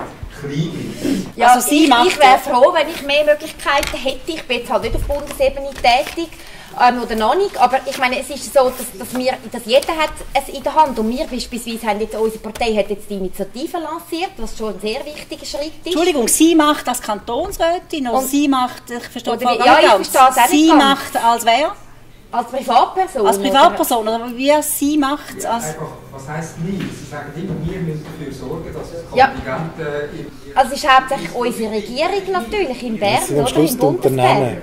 Und am Schluss sind im Austausch mit den Unternehmen, wie das auch ich vor sagen Also die Unternehmen, die Regierung, haben wir ein als Antwort bekommen. Jetzt haben wir da noch eine Ja, Frage. bitte. Also, mein Name ist Michael Schollenberger, grüezi miteinander. Äh, an Uli Häfeli noch die ähm, Frage eben, wie kann man das steuern? Das ist sehr einfach. Genau gleich wie voran. Ich bin Personalchef gsi in der Gastronomie, Hotellerie. Und das stimmt einfach nicht, was der Herr vorher sagt, dass nicht branchenbezogen war. Ich habe genau gewusst, wie viele ausländische Arbeitnehmer mit der Kurzaufenthaltsbewilligung für drei Monate, mit der Aufenthaltsbewilligung für neun Monate haben dürfen bei uns arbeiten. Und das ist ja weiss Gott branchenbezogen. Mhm, das ist Und dann noch ein anderes äh, Wort. Wie, wie ist das von den Zahlen her? Jetzt haben wir innerhalb von 13 Jahren 1 Million mehr bekommen. Wenn wir das jetzt würde zurückrechnen dann könnt ihr selber die Rechnung machen, wie, in welchem Jahr das die Schweiz null Einwanderer hätte oder null Bevölkerung. Es geht doch nicht an, dass wir innerhalb von 13 Jahren 1 Million mehr Menschen haben. Es geht einfach nicht. 1950 sie- hat es in der Schweiz wahrscheinlich rund zwischen 5 und 6 Millionen Schweizer, also Einwohner gehabt. Also die Rechnung ist da sehr einfach. Und mal hat man alles können steuern. Seit 150 Jahren ungefähr arbeiten viele Ausländer in der Schweiz. Sie sind immer willkommen gewesen. Es hat immer auch Arbeit gehabt und man hat immer für die Zuwanderung eine Steuerung gehabt. Wieso soll man das nicht wieder einführen? Herr Vohr, wenn Sie etwas dazu sagen, zu dieser Steuerung, zu dieser Begrenzung? Nein, ich muss nichts dazu sagen. Ah, ich habe, glaube alles gesagt. Also Okay. ich glaube nicht, dass wir Zuwanderung werden können so tief, tiefer bringen als jetzt. Wir sind auf einem ganz tiefen Niveau jetzt ohne Kontingent. Und das Zweite ist, ich glaube nicht, dass die Probleme, die zum Beispiel auch in diesem Büchlein angesprochen werden, zum Beispiel auch, ich nehme jetzt da einen Punkt raus, den ich eigentlich auch ein bisschen komisch finde. Ähm, dann ist die Schweiz vor allem für Frauen wieder sicher, wenn wir weniger Leute aus Europa haben. Ähm, ich glaube das einfach nicht. Das ist an den Haar herbeizogen, jetzt der, der Punkt. Und ich glaube, sie tun viel zu viele Probleme dieser Zuwanderung zuzuordnen, anstatt dass man sie real im Alltag mit unseren politischen Instrumenten, die wir da haben, angehen. Und es ist ihr gutes Recht, wenn sie die Sachen anders anschauen als wir, mit, uns, mit ihren politischen Instrumenten die Sachen behandeln. Das ist unsere Demokratie. Wenn man aber alles über Zuwanderung will behandeln, dann verschenkt man einfach etwas. Ich glaube, Gut, ich glaube, jetzt tun wir uns ein bisschen im Kreis drüllen. Gibt es Genau. vielleicht noch ganz eine neue Frage? Noch jemand, der etwas sagen will? Sie haben zwar schon etwas gesagt, jemand, der noch nichts gesagt hat. Genau, dann tun wir hier das letzte Votum noch gelten lassen. Die letzte Frage von dem Herrn. Mein Name ist Siegfried Roth, ich bin ein alter Mann und schaue das Zeug aus der Vergangenheit an. Ich kann einfach als Unternehmer, ich bin lebenlang Unternehmer gewesen, Kleinunternehmer mit 20, über 20 Leuten und so weiter und später allein mit der Frau. Ich habe einfach gesehen, die Frage, die wir gehört haben, oder die, die Situation, dass die Schweizer die Arbeit nicht mehr machen, gewisse Arbeiten. Das stimmt nicht. Das andere Problem ist, dass alle Arbeiten, die Handarbeit, miese Handarbeit ist und so weiter, das wird heute von Leuten gemacht, wo man von 100 Stunden sieht, dass sie nichts können, nichts gelernt haben und dass sie einfach in die Schweiz gekommen sind und jetzt die Arbeit machen. Und das ist klar, der Schweizer will sich nachher nicht zu denen anstellen. Der will besser dran sein, wieder als die, die das machen. Und ich bin überzeugt, wenn wir die nicht hätten, die vielen Ausländer, die Schwarzen und Braunen und Gelben und alles, was da ist, dann wäre das sicher so, dass wir mehr Schweizer hätten, die auch solche Arbeit würden machen würden. Gut, dann danke ich für das Schlussvotum. Ich, mir bleibt noch zu sagen, die Arbeit, die wir haben, ist die, dass wir alle an Turnen gehen am 27. September, auch wenn es ein schwieriger ist mit Corona. Wir können aber schriftlich abstimmen und dazu durch Sie auffordern, tun Sie Ihre Stimme abgeben. Und ich bedanke mich sehr herzlich, dass Sie heute Abend gekommen sind. Herzlichen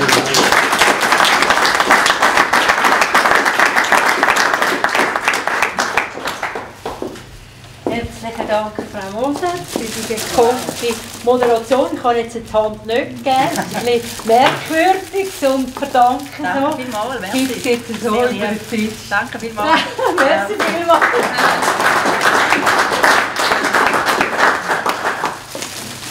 Das Gleiche gilt für unseren Gast, der sich da sehr gut gemetzelt hat. Es ist ein bisschen unausgewogen im. Publikum gewesen. Sie haben sich gut gemetzelt.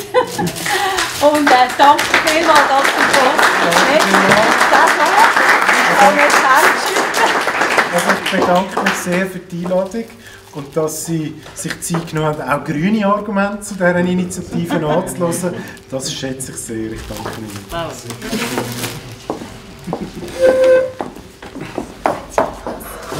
Ja, liebe Nina, herzlichen Dank für deinen Einsatz für die Begrenzungsinitiative. Kommst, kommen alle gleich.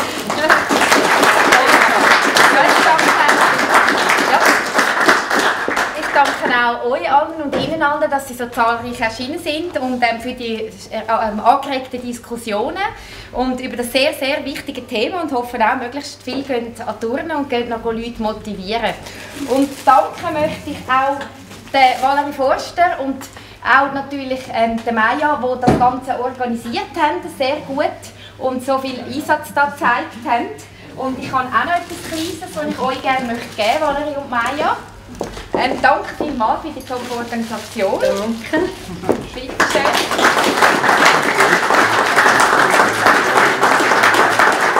Und, ähm, ja, jetzt gibt es noch ein Apero, gerade da hinten.